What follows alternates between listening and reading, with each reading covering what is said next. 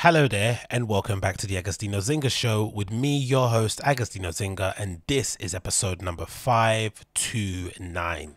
That is 529 of the Agostinho Zinga Show. I hope you are doing well wherever this podcast is meeting you. If it's your first time tuning into the show via YouTube, you know what to do. Smash like, hit subscribe, leave me a comment down below. That'd be greatly appreciated. If you're listening via the podcast app, a five, four, three, two, one star review and a share will help it to go a long way. That would be really appreciated also. And if you want to support the podcast via Patreon, please do at patreon.com forward slash Agostinho. For as little as $1 per month, the equivalent of £1, you get access to all my bonus content, which equals to one bonus podcast per week, as well as a bonus episode of the live podcast per month. So you get one bonus piece of pod- podcasting per week, as well as one big bonus pod per month. So if you want all those bits of content, all those bonus bits, as well as any other thing I upload on Patreon, please make sure you check out my Patreon at patreon.com for just Agostinho for only my Patreon subscribers, for only my Patreon subscribers. So far, I think I've got about 13 or 12 on there. I'm looking to hit 20 by the end of the year. If you guys can help me get over that line, I'd be greatly appreciated. So recommend it to friends, all that stuff. That'd be greatly appreciated too. But again, thank you so much for the support. As of now, I really appreciate every single one of you that's kind of leaving comments, sharing stuff, and giving me feedback. It's all greatly, greatly appreciated. But yeah, let's jump right on in. Loads of stuff to get into. I don't want to waste too much more of your time. You got a lot of topics to get through. This might be a bit of a long one, so grab a drink, grab a hold of a refreshment, a little, you know, packet of peanuts.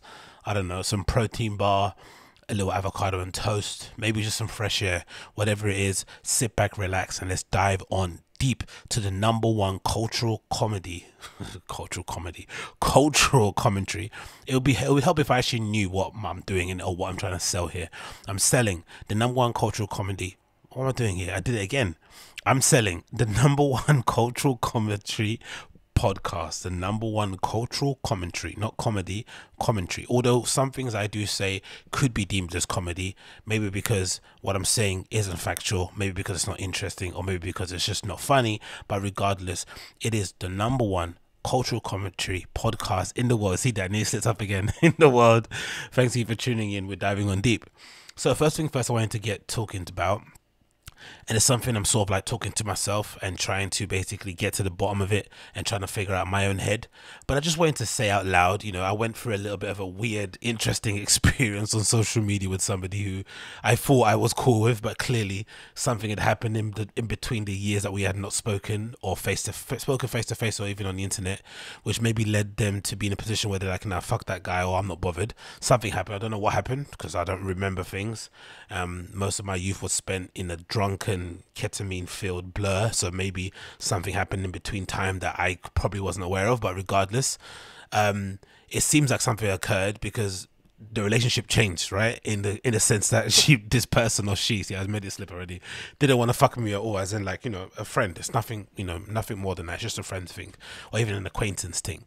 But this person clearly gave me the impression that they wanted nothing to do with I, right? Which to me was like shocking. I'm like, I couldn't believe it. I'm like, me, I'm super awesome. Why couldn't you want to talk to me? Which obviously is a form of narcissism, a form of you know ego, and just really probably a gross thing to even say out loud. But I'm being honest and being upfront with you guys, so please forgive me. But in general, they gave me the impression that, hey, I don't really want to mess with you, leave me alone, which is completely understandable. So I decided to leave them alone, backed away, did the things, cleaned up any evidence of me ever being there, and just slipped away. But it also made me think to myself, you know what, right? No one owes you an explanation. I think that's what some people need to kind of get through their head. No one owes you an explanation. Life isn't fair, and sometimes stuff happens that's out of your control that you have no business even trying to get back into your control or you don't have any business trying to correct. It just happens, it goes the way it goes, and you just have to deal with the consequences as they come. But this idea that everyone is meant to treat you fairly, you're meant to get a fair crack of the whip, you're meant to have an opportunity to say your piece, to basically defend yourself, to maybe have a counter argument. No, life doesn't work out that way. Life isn't a movie. Sometimes shitty things happen to you and you just have to suck it up and just keep moving. Or you're gonna be end up being depressed, you're gonna end up being downtrodden, end up like not wanting to wake up in the morning. All these weird things will end up happening to you. So I think most of the time in life we have to kind of get to that point where we start, you know, being a little bit honest with ourselves and saying to ourselves, you know what, maybe I'm not as amazing as I think I am in my head. Because I think sometimes, especially with people like myself, um, I've got that weird duality in my personality in that I like to be a people pleaser. Like I want people to like me, but I'm also very much um or I say I, I'm also quite distant in like my relationships wise in terms of friendship. I tend to not really keep a close group of friends with me. I don't really keep up with people apart from maybe couple. I don't really maintain relationships or cultivate them in any way, short, shape, or form. But with strangers or people that I've met over the years, I try to kind of make everyone like me, try to be the dancing monkey. And obviously, sometimes some people can just be over you. They can be like, you know what, I'm done. That was a period in my life that was fun, but now I'm in this stage and I don't want to be reminded of that period by just looking at you. So, fair enough, I get it. But in my head, it's always an exercise of trying to get someone to like you. Now, I don't know if that's because when I was younger, I moved schools quite a bit because we moved sometimes when I'm in my formative years. So maybe I've always been performing for people and I've always kind of felt like I had to kind of um, gain the respect or the love of people through making them laugh and making them entertained or whatnot, or thinking I'm a cool dude or whatnot. Oh, he's funny. Da, da, da, I don't know. Something there's something probably there, but in general, I think we have to kind of be okay with just allowing allowing those moments to be moments in your life like i think that's something i've kind of slowly but surely got to the point of doing and i think i have to thank the other person who told me flat out hey i don't want to be your friend anymore because i think that was a point where i kind of woke up to the fact that i need to get to the point where i start accepting moments I start telling myself, okay, this chapter in my life was great, it was amazing, but there's no need to go back and revisit. Just have it as a memory leave it as a time capsule, leave it as something that you might visit in the flipping museum halls of your memory, but it doesn't need to go revisit. You don't need to go back to it and kind of try and relight that flame because more often than not, it doesn't happen. If it does happen organically, like for instance, there have been times where some weird serendipity happened, right? Where one of my major um, sort of like I think monumental influential parts of my life was when I went to Nicaragua to visit one of my friends and end up doing a bit of traveling around there going on my own for a bit. It was kind of my first sort of holiday on my own properly right? Kind of traveling so sort, sort of doing the backpacking thing. And I met some really cool dudes out there in hostels and stuff cool girls people just nice right? It's a great environment. And a lot of those people I'm still friends with now on social media and whatnot. We keep up with each other here and there but this one guy who I kind of got really I got along with really well, this Australian dude, um, we just got on, we bounced off each other, da, da, da, and then randomly, out of nowhere, randomly, right? I'm in Berlin somewhere, and I bump into him in the streets as I'm walking. I don't know where I am. I'm going somewhere to buy some drinks. I don't know what I'm doing, but I just happened to bump into him randomly in the streets on a random weekend of Berlin that I happened to be there. And again, I was lucky because obviously he lived there at the time, but those sort of things happen sometimes organically, but you can't force those things. You can't be the kind of person like, oh, hey, I met you 10 years ago. I'm coming to whatever now. Do you want to meet up? It's like, no, that doesn't work that way. Sometimes you just got to let things just, you know, exist how they want to exist. So slowly but surely, I've kind of come uh, to grips with that sort of thing. But it's been hard to wrangle because, like I said, deep down, even though I'm a loner, and even though I don't care about people for the most part, like I have this weird switch where I can just turn it on and turn it off. I do also like to, I do also like to be liked, which is an odd complex. It's an odd sort of personality to have, right? On one end, you don't care about people and you don't have a group of friends really for the most part. I might know people, but I won't call them any of my any people my friends, and I'm sure they wouldn't call me their friend either because I don't really check into them on their birthday. I don't know their mum's name. Yeah, I mean, we probably haven't shared a meal. We probably haven't seen each other outside of nighttime. Like those people are not really your friends, right? Your friends are people you actually cultivate a relationship with over time. You share stuff with. You go through things together with. Maybe you go through ups and downs, but those sort of ones I'm talking about, they're more like acquaintances that you might meet in like nightlife or just around when you just just kind of navigating through whatever life you're going through. But I feel like over time, it can get a bit hard to do that sort of thing to kind of just let go and allow the situation to allow the moment to be what it is and then move on. Because i think what happens is that the older you get the more you start to realize how important friends are right? Especially especially once your family circle starts to decrease. Because when you're younger your family is basically everything it's your whole life. You don't know anything else apart from your family and the kids you hang around in your area.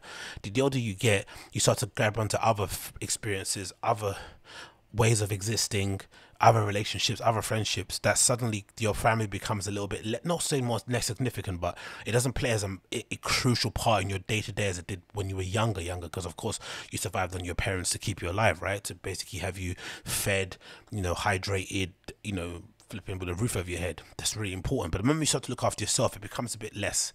But then you also reach a weird point where suddenly it then reverts back to it again because then you start to lose those friends who you kind of ditched your parents for or your family for because they then move on with their life or they you know some pass away unfortunately and then suddenly you're back kind of back to square one a little bit you're sort of like okay back home because I've seen I've seen that a lot with my other friends who I grew up with in the area that I'm from right I've seen a lot of them revert back to hanging around with the same people that we went to school with when a few years ago they were all with other people, right? They were hanging out with people from university, people that they went, people that they worked with in their first graduate job, people they worked with at their first job, people, friends of their wives, friends of their baby mothers. That was who you saw them with. But then now that we've got to this other stage in life, it seems like everyone's reverting back to those old school friends because at heart, those are basically your family because they know you since you were like 12, 13, whatever it may be. So they actually know you properly. They don't know this like, they don't know the reinvented version of you. They know you to your core and you know them to their core. So the friendship's a lot more deeper and a lot more probably um uh, a lot more significant. I don't know whatever that means, right? So I don't know. I guess I'm at a point now where I'm I'm so starting to realize that number one, no one owes you an explanation as to why they don't want to talk to you anymore. Number two, assuming that people want you in their lives again after you haven't been in their lives for many many years is a form of narcissism, and it's also you kind of flexing and showing that your ego's out of control, as if people are meant to put their lives on pause and allow the door to be slightly ajar so then you can come in whenever you want. That's not how it works out, and also people move on and it's just that is it. They just move on, and it's okay. They can move on. There's obviously other things to it. You can be like, oh, they maybe hating something happened because for sure with me, I wouldn't be surprised if the reason why this person was a little bit, you know, distance with me or kind of gave me the cold shoulder probably had to do with something I said or something I did when I was fucked up. I'm pretty sure about. It. I'm pretty sure because usually the things that get me in trouble are when I get myself too mashed up, right, and I do or say things that I probably really regret. So I'm definitely sure I definitely did something in that scenario that messed it up, but it's probably gone too far. It's the time is too much time has elapsed for there to be any sort of reconciliation, for there to be a kind of sit down, and if, it doesn't matter anymore because you know they go on with their life, I go on my life. No one really gives a shit. I mean, if she gets hit by a bus tomorrow, I won't drop a I, I won't drop a tear. Same thing with me, right?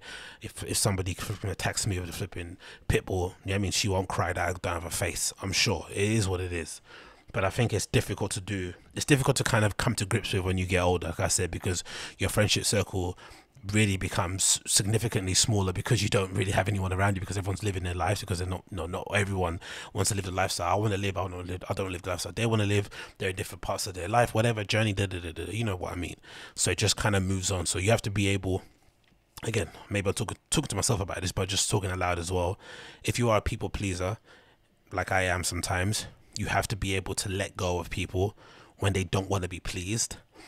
And if you're somebody who tries to relight flames or tries to, you know, um, go back to moments in time, don't. It never works out. It's sort of like getting back with your ex.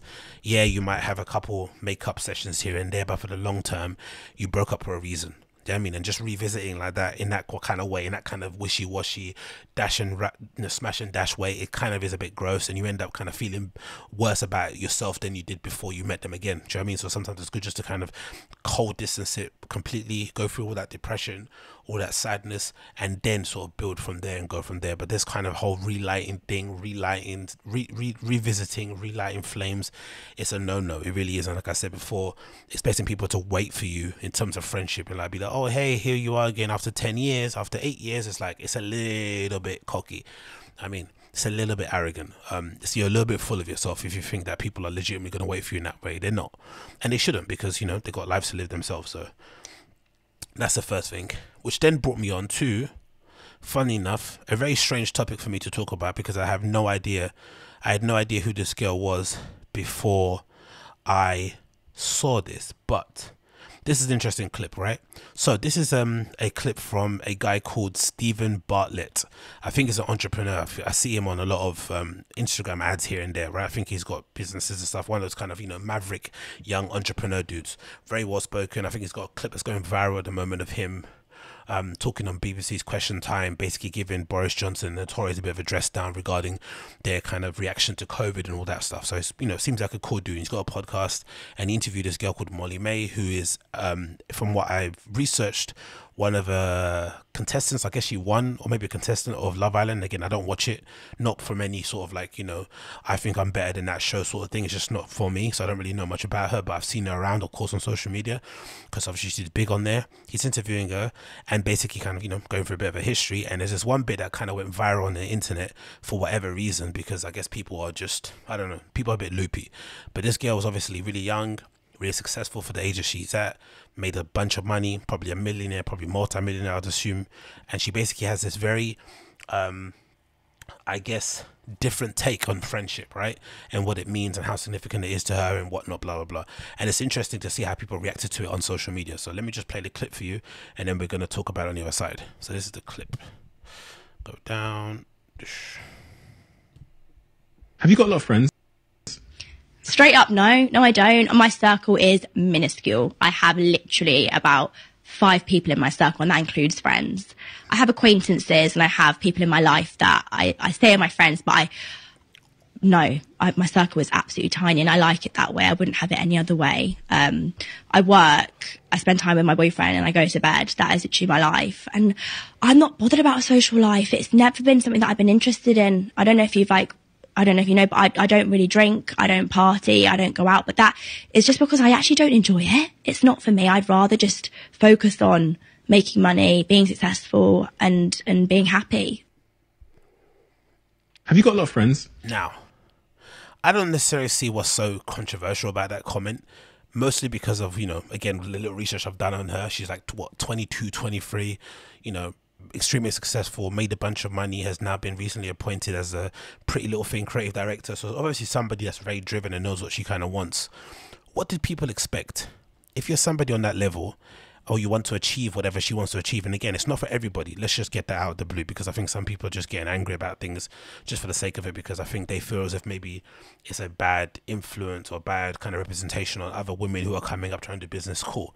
But let's be honest and say that she's one of the kind of, she's in the top 1% in terms of higher achievers and obviously being able to achieve that. No, yeah, high achievers and also in terms of just temperament people are not born like this a lot. There's not it's not like a common thing to be born this way right? It's, it's quite uncommon which is probably why she's so successful at this point in time but people that are like this are like this for a reason because legitimately her sport, the thing that probably gets her hard, the people that the thing that probably gets her going, sorry, look at term hard, is being successful. Is seeing the coins coming into account, having people running after her in, in an inbox for deals and endorsements and whatever it may be.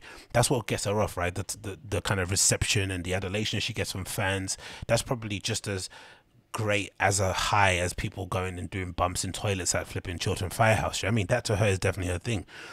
And I'm just surprised at how people legitimately think to be that successful, you can also have a textbook balanced sort of like social life, or so you can basically have a textbook work life balance. You don't. It doesn't exist. I think we've seen now with COVID that people have basically woken up to the fact that maybe working a middle level job, an entry level job, and working it to the bone, staying in until 8 p.m., all this sort of stuff is maybe not worth it in the long term, right? Maybe taking less money, doing something on part time, claiming the rest of it on universal credit, or doing whatever, or kind of working um, on your hustle, on, like on, on your flipping spare time. That might be worth more of your time now, right? We've seen that a lot with this whole anti work movement. People are quitting, of course, their jobs straight up and saying, We're not going back. I'm just going to live off benefits. But there is a small um, group of people within that group who are also saying I'd much rather not work 60 hours a week, maybe work 30, maybe work 26, whatever it may be, and then the rest of my time spend it doing the thing that I actually enjoy. Knitting, sewing, making clothes, making furniture, DJing, present, whatever, doing your YouTube channel, doesn't matter.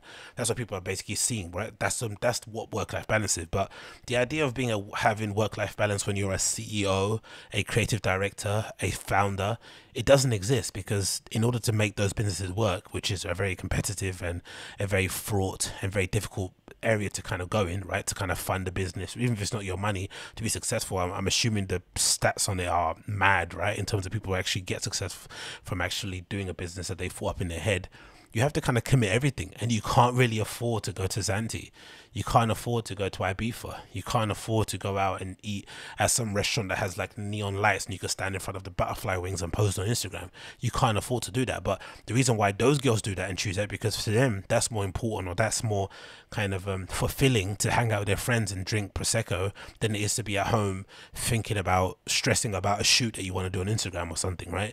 But those are choices that we make. But for some reason, people want to have it all. They want to be able to be as successful as Molly-Mae Girl, but also they want to have the greatest and bestest kind of flipping circle of friends. It just doesn't exist. One has to give. One definitely has to give. And also, I think for her, being a woman, I'd imagine and being somebody that people think is attractive and having a lot of money, you're definitely going to invite a lot of envy. You're definitely going to invite people who come around you for the wrong intention. So maybe minimizing the people around you and kind of keeping your circle small and tight is maybe the best way to go about things, especially when you think about, you know, recently uh, I read that her and her boyfriend went through a pretty traumatic home robbery thing, which, you know, I didn't really have much sympathy for at the time, which I still don't, because I still think, you know, if you're an influencer who's parading your house around that you actually live in, forget if it's a showroom house, but if it's a house you actually live in that you call home and you're showing everyone your every inch that you live in and where you go and your you know I mean? And basically your timetables available on social media because you're basically live sharing every single movement, then you should be cognitive or aware enough that there are people who will kind of laud you for that and send you fire emojis and heart emojis and stuff.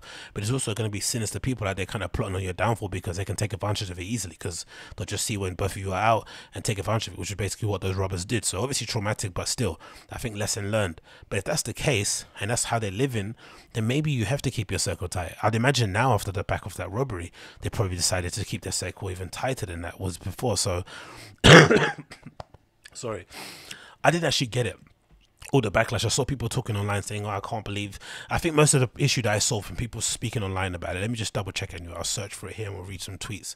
It had more to do with this kind of negative reaction people have with um, the hustle mentality or the hustle mindset um, I guess it's got wrong connotations for whatever reason. I'm not sure what happened. There was a moment in time I felt like on social media where, especially in the girl scene, being a girl boss was a big deal. Then it turned into being a little bit of a, uh, being a bit of a joke, and now it's turned into something of an insult it's strange how it's gone through that kind of trajectory, right?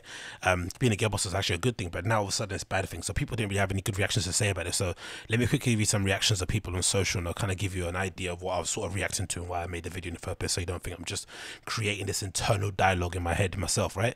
So this is from social media, obviously. I did Molly-Mae Friends. First tweet here says, um, vomit emoji at Molly-Mae on that podcast saying that she doesn't have time for her friends because she'd rather be making money. Friends don't add anything to my life. What a horrendous way to live life.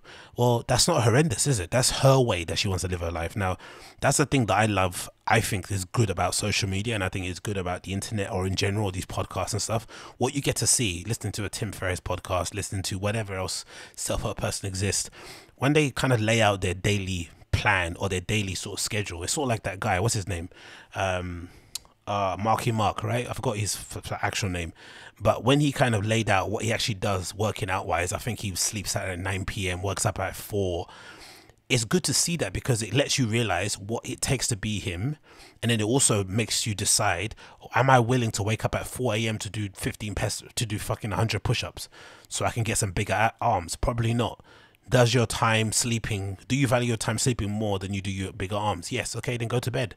It's not like he's not like he's telling you this is how you should live your life. He's just showing you here's what i do. Similar if someone like the rock came out and said oh i only eat flipping chicken and cabbage for 60 days out of the oh, 60 days whatever no for 60 days straight if you don't want to do that to get look like the rock, then you don't have to do it. But let's not kid ourselves and say that you can have a cheat meal every week and also look like the rock. It just isn't going to happen. Something's going to have to give. And don't get me wrong, look at the rock as well. Do you think the rock has a healthy social life? Do you think he has a healthy family life? Do you think he gets to see his kids and his wife all the time and hang out with his boys? Probably not. He's filming a million films a time um, visiting for for some reason I think would I read it somewhere every kind of film set or any kind of thing that he does he goes out and takes out a flipping gym membership or whatever place he's in and just smack and just basically books it out for private sessions like however long he wants to be there. Like that's an actual thing that he does. So he actually kind of books his gym sessions around whatever thing he's filming on the time. That's not a, probably the most funnest of guys to be around. Do you know I mean? He's probably a bit highly strung probably a bit type A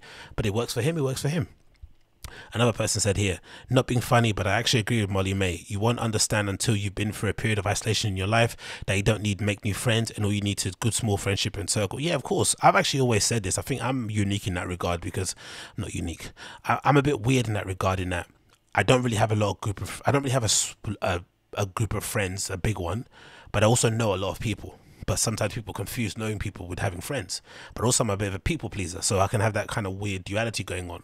But I think when you get older, or just in general in life, you start to realize it's better to have three, two, one really good friend, as opposed to six, seven, eight, nine, ten wishy-washy friends who never turn up to your birthday, who never check in on you, who don't hang out, whatever, who, who you don't see if, if it's not nighttime, those are not really friends. Those are kind of acquaintances or people that you know from the scene or whatever it may be. But actual friends, they're there when you need them. They're probably there to tell you some home truths.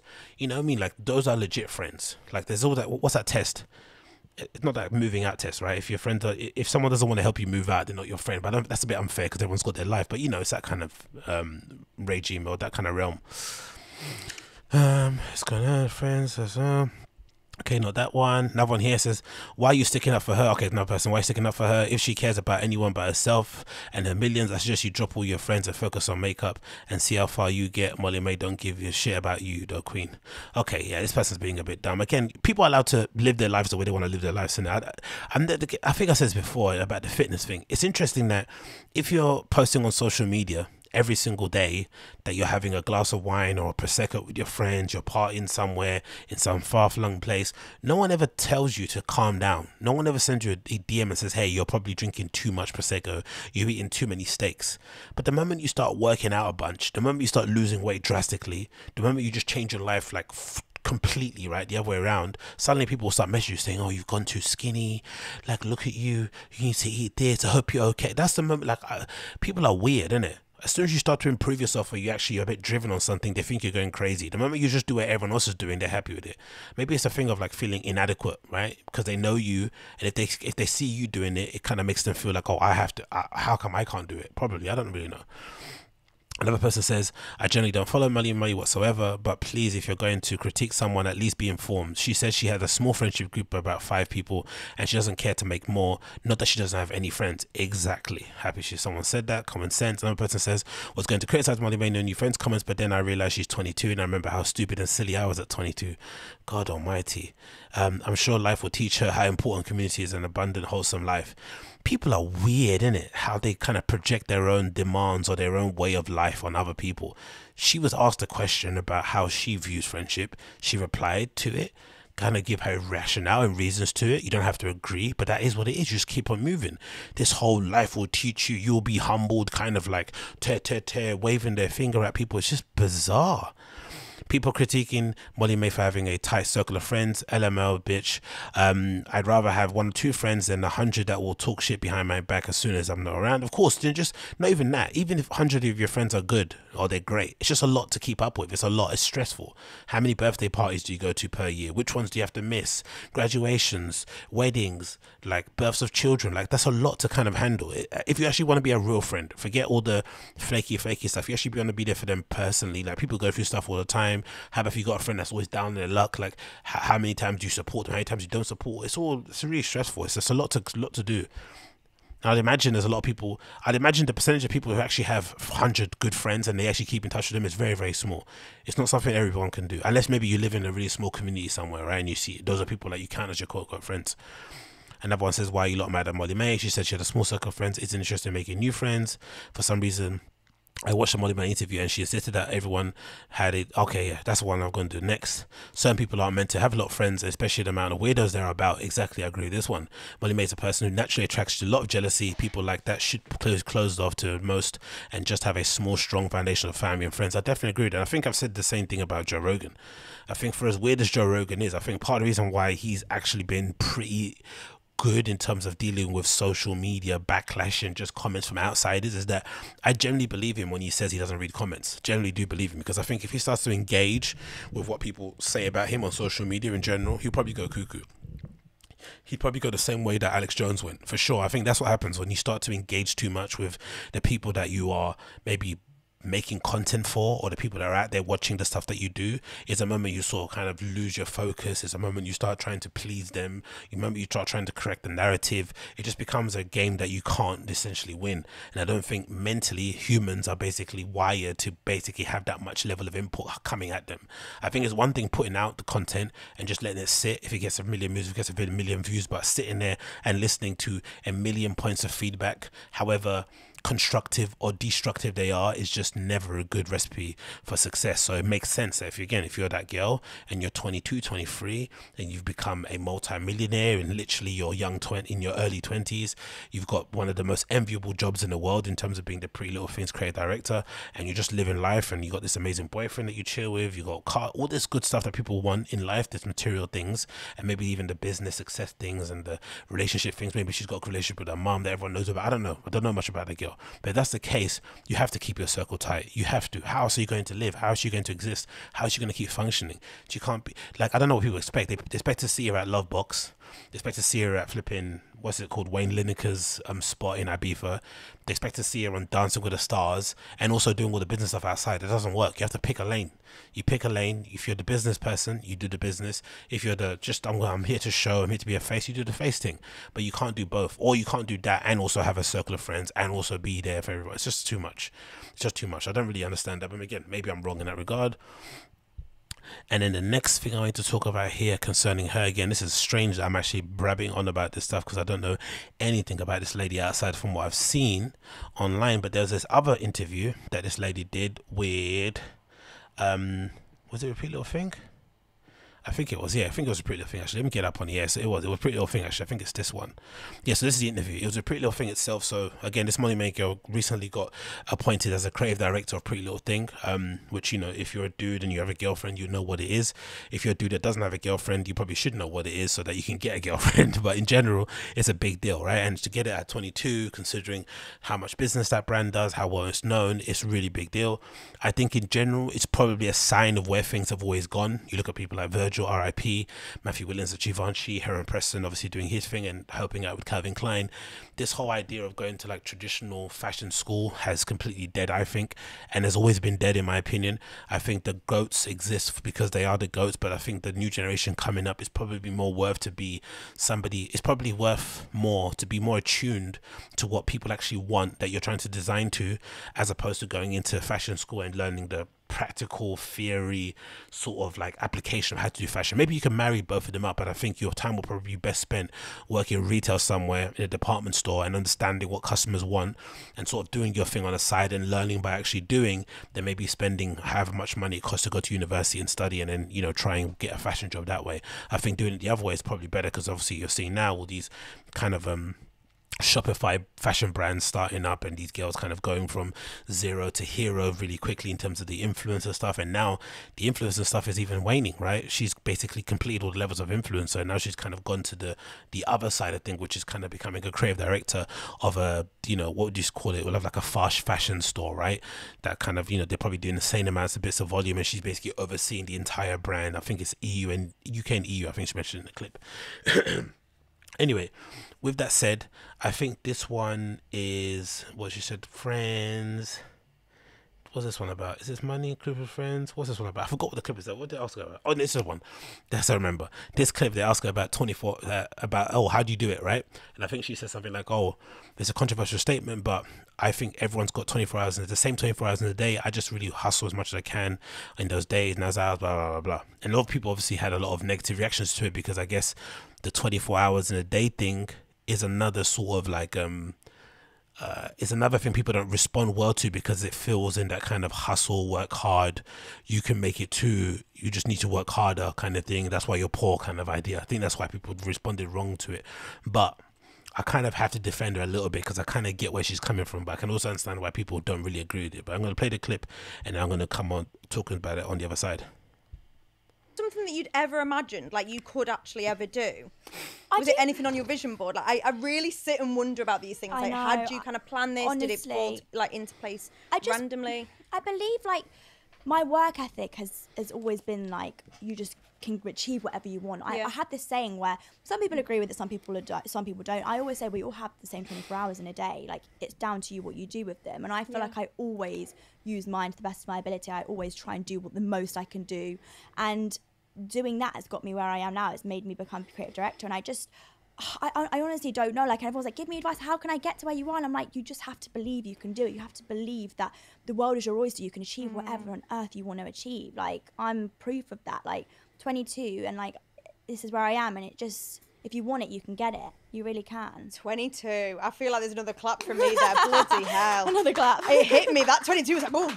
Like, uh, honestly, I mean, One second, take off my hoodie.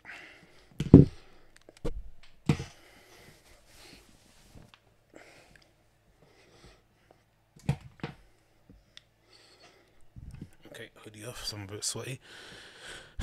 And again, I don't necessarily see anything wrong with that personally. I don't understand the negative reaction. I get it if you're in a place where you genuinely have no route out and you're definitely down in the dumps and you've kind of, you know, you're in the mud for real. You know, people say, oh, I got it from the mud. No, you're actually of the mud and you see no prospect of you coming out. Maybe it does feel a bit disingenuous to hear somebody say, we got the same 24 hours, but you're like, no, we don't. I mean, I have my 24 hours are spent trying to keep myself alive. I've got no time to think of dreams and entrepreneurial ideas and projects. Okay, cool. That person isn't speaking to you. They're speaking to the person who maybe does want to get started in this field, maybe does have aspirations and dreams of being an influencer, or maybe copying, or maybe following the footsteps of what Molly-Mae has done and achieving it. And she's basically saying, the opposite of what you hear most fashion people say or people in the creative field that they talk about oh my mum was a seamstress and she used to make my dress for sunday school and then i used to see her sewing and i would always kind of pick up material make my own little sew thing like it's that kind of stupid story everyone says. She's like nah i've only got here through pure pure hard work just being constantly just being constantly what's that word called um, consistently unafraid to kind of put myself out there, which is again a- talent in itself. I've always maintained posting regularly on social media isn't for everybody. Look at some of your people that you know, or just yourself in terms of your social media use. You don't want to be on there too much because it makes you look thirsty. You don't want to keep posting pictures of yourself because it makes you look like you got a mental illness. So a lot of people have a lot of kind of um, a lot of kind of mental games they have to play just to kind of upload their own self onto social media. So let alone somebody that's uploading content, um, you know, giveaways, talking about their day, tutorials and shit. It's a lot. It takes a lot of kind of um, it takes a lot of kind of uh, egoless. It takes a lot of ego and also being egoless to put yourself out there in a constant basis. Trust me, I know I've kind of had to get to this point when it comes to recording a podcast, especially doing the video portion of it. So I don't necessarily see that as a bad thing. And I guess in general, I've always found it difficult or interesting how people react so negatively to somebody's own personal experience just because it doesn't vibe with how they view the world. For instance, she said clearly that again, I don't know much about her story or history, but from what she said, from how she kind of see it, her own eyes, she perceived the only reason why she's successful as she is is because she's worked really hard at doing the thing that she's done. Not because she's gifted or incredibly talented or whatever she's doing. She feels like she's got to where she's got to mostly down to hard work. And if people ask her uh, honest opinion, how do I get there? The only thing she's going to relate to is her own experience. Say, yeah, hey, this is how I got there. And of course, if you've got talent, that's going to help you even better because it might speed up the process. But how I got there was just being consistent, posting. What's that Gary Vee thing he says? Post six bits of content a day on social media. It sounds insane, but think about it. If you're actually going to be an influencer, you probably do need to post that much content a day because think about you as a consumer. How many times a day do you check social media? So if you keep seeing the same post from me every single day, are you going to keep checking for me? Probably not.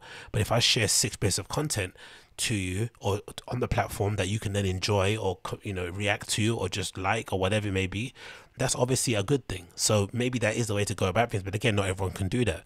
So I just feel like sometimes you got you got to give these people a break. It's a new field. It's a new area. Um, it doesn't really make any sense why some people are able to make hundreds of thousands of millions of pounds posing in clothes they didn't design. You know, um, hashtagging things, sharing things, whatever. I know it's annoying. It can boil your piss, but we're living in a new world. This is a whole new reality that people have been able to kind of gamify. They've been able to take advantage of, explore exploit and essentially use this as an opportunity to take their family from the depths of poverty up to the flipping level, high, high levels of wealth. And I think that's a good thing because if anything, this sort of profession, influencers or whatever it may be, especially on social media, being a public figure, it should be encouraged more because this is legitimately one of the only ways if you're somebody that comes from a really working class, poor background where you can legitimately go from having nothing to having something right? Because all you have to do is basically post things online, and whatever budget that you have, you can get stuff on. You can make it like I've seen people, girls do hauls on Shein, do hauls on Alibaba, on Taobao. You can you can figure out a way, a lane that works for you.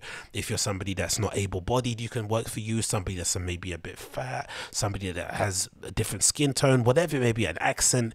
There is a lane for you that somebody else out there would want to enjoy your content. So if anything, this should be a thing where I think most people are doing it. This should be a thing where if you're somebody from a disadvantaged sort of like quote unquote minority community, you should be running full steam ahead at these sort of career options and taking notes when people like this speak and trying to replicate their success in whatever way you can because that is honestly an option. It's honestly one of the best options out from whatever depths of poverty or whatever depths of loneliness you may be in terms of your career aspirations, your way to support your family, whatever it may be. That's one of the greatest ways to do it. You can legitimately go from having 500 followers to maybe a thousand to two to 10 and suddenly your life is completely changed. So I don't necessarily see what's wrong with somebody telling you, hey, my experience is if you worked really hard at what you're doing, maybe you can get to where I'm going to get to because that's their experience. I don't that's anything bad. Again, there are other things that probably contributed to it. It probably helps if you're attractive. Maybe for her, it maybe helps because she's Caucasian.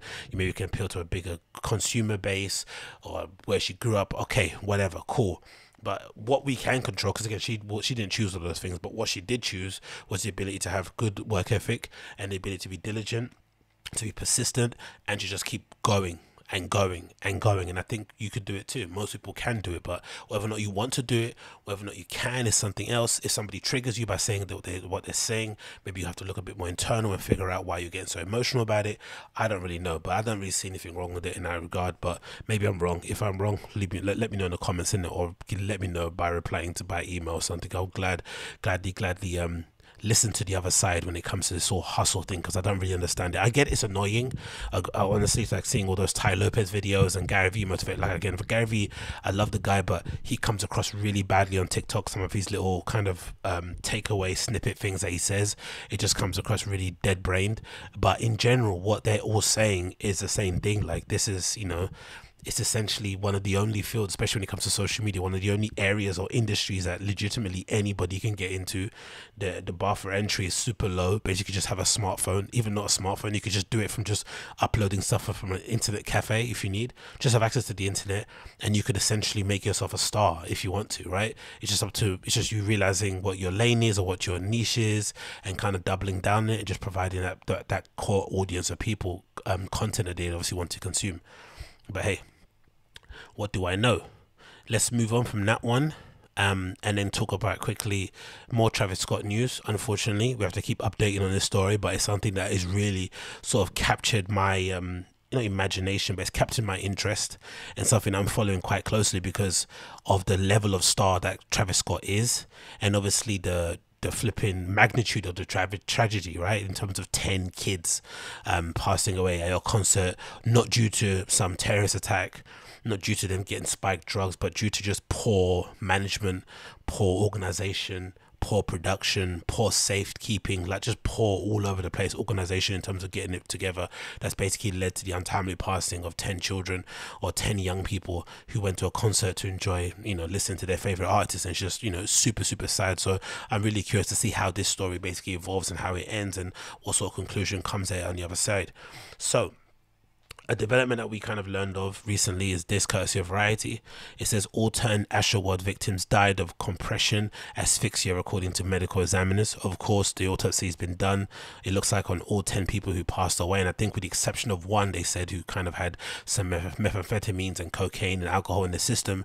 Which so basically i guess if you have that in your system they can't conclusively say you died of this one thing because maybe that thing contributed to it. But for the most part 9 out of 10 which is a strong majority died from compression asphyxia which has obviously been caused from all the flipping stampeding and piling on and all that stuff and people falling over at the concert. It's just i can't imagine how these people feel especially the ones fair enough not fair enough but it's understandable how devastated the victims um, or the families of the victims actually feel for sure you know having somebody so young in your family being taken away from you in that way must be heartbreaking. But i'm also kind of feel so bad for the people who were next to the people that passed away or who felt like they may have contributed to that person's death by stepping on them by pushing them. How badly they must feel too how kind of um, guilty they must feel that they kind of maybe in some way shape or form uh, played a role in somebody's untimely passing. Imagine how much how badly they must feel man. Again they're kids too. Their brains are not even formed well fully formed yet in terms of kind of you know getting to the point of maybe being able to deal with this sort of stuff easily. I'm assuming a lot of them are probably going through serious therapy to try and get over this or make sense of this. It's just god damn it Courtesy of Variety, it says the following All 10 victims of Travis Scott's Astroworld concert died from compression asphyxia, according to a report from the medical examiner. Even the way they started it, they already mentioned his name. It's like, oh, it's over for this lad. One victim is cited as having a contributory cause of combined toxic effects of cocaine, methamphetamine, and ethanol. I don't know what ethanol is um, methamphetamine, don't know that is, or coke, I know that is, but I don't know what ethanol is, what that is. Is that kind of laughing gas? I don't know. If you know that what that is, let me know in the comments. It says, but the primary cause for all the victims was essentially being suffocated by external pressure, technically defined as respiration prevented by external pressure on the body. The report was issued on Thursday by the Harris County Institute of the Forensic Sciences in Houston. I guess if you're on Travis's team, because again this is the thing i think that's so nasty about celebrity life right right because people again like i said in other clips or in other bits on my podcast because a lot of people that who basically rely on Travis Scott to basically allow them to live a somewhat comfortable life. He pays for a lot of people's mortgages, second homes, private schools, car leases, right? Because of that, those people are scrambling and trying to protect his to protect their interest by protecting him. And that story first came out, I think, of somebody, you know, injecting or spiking, no, injecting yeah, was it pricking one of the security guards with a needle that made him fall over? Somebody saying there was dodgy pills that were being exchanged in there, like loads of things. But most of it had to do with the fact that oh, these kids went and consumed loads of drugs. That's why they died. And I'm, I'm guessing if you're part of Travis Scott's PR team, you would probably be hoping, or you know, you're one of his publicists and stuff, you'd probably secretly be, you'd secretly be hoping that the coroner's report or the autopsy would say that the majority of the kids that passed away had some sort of, you know, MDMA, ecstasy, whatever in their system that kind of contributed to their death. That's what you're secretly hoping for, which is again crazy to kind of think about. But you know, these people legitimately have lives that are basically resting on the success of Travis Scott. It continues.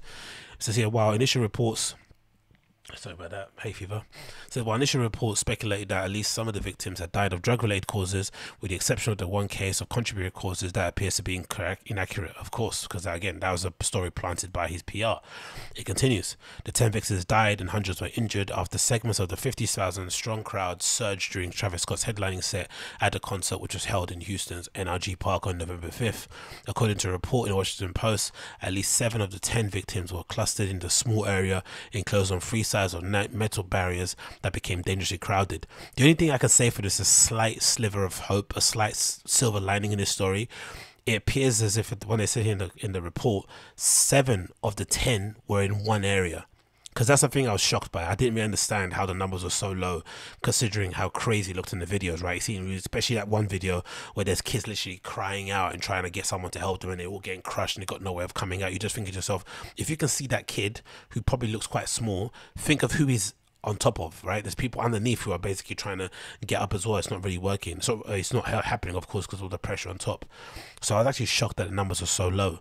But this obviously explains it. it luckily, for again for everybody, especially people that attended, most of the deaths only happen again. Luckily, it's weird to say because obviously people pass away, but you know what I mean.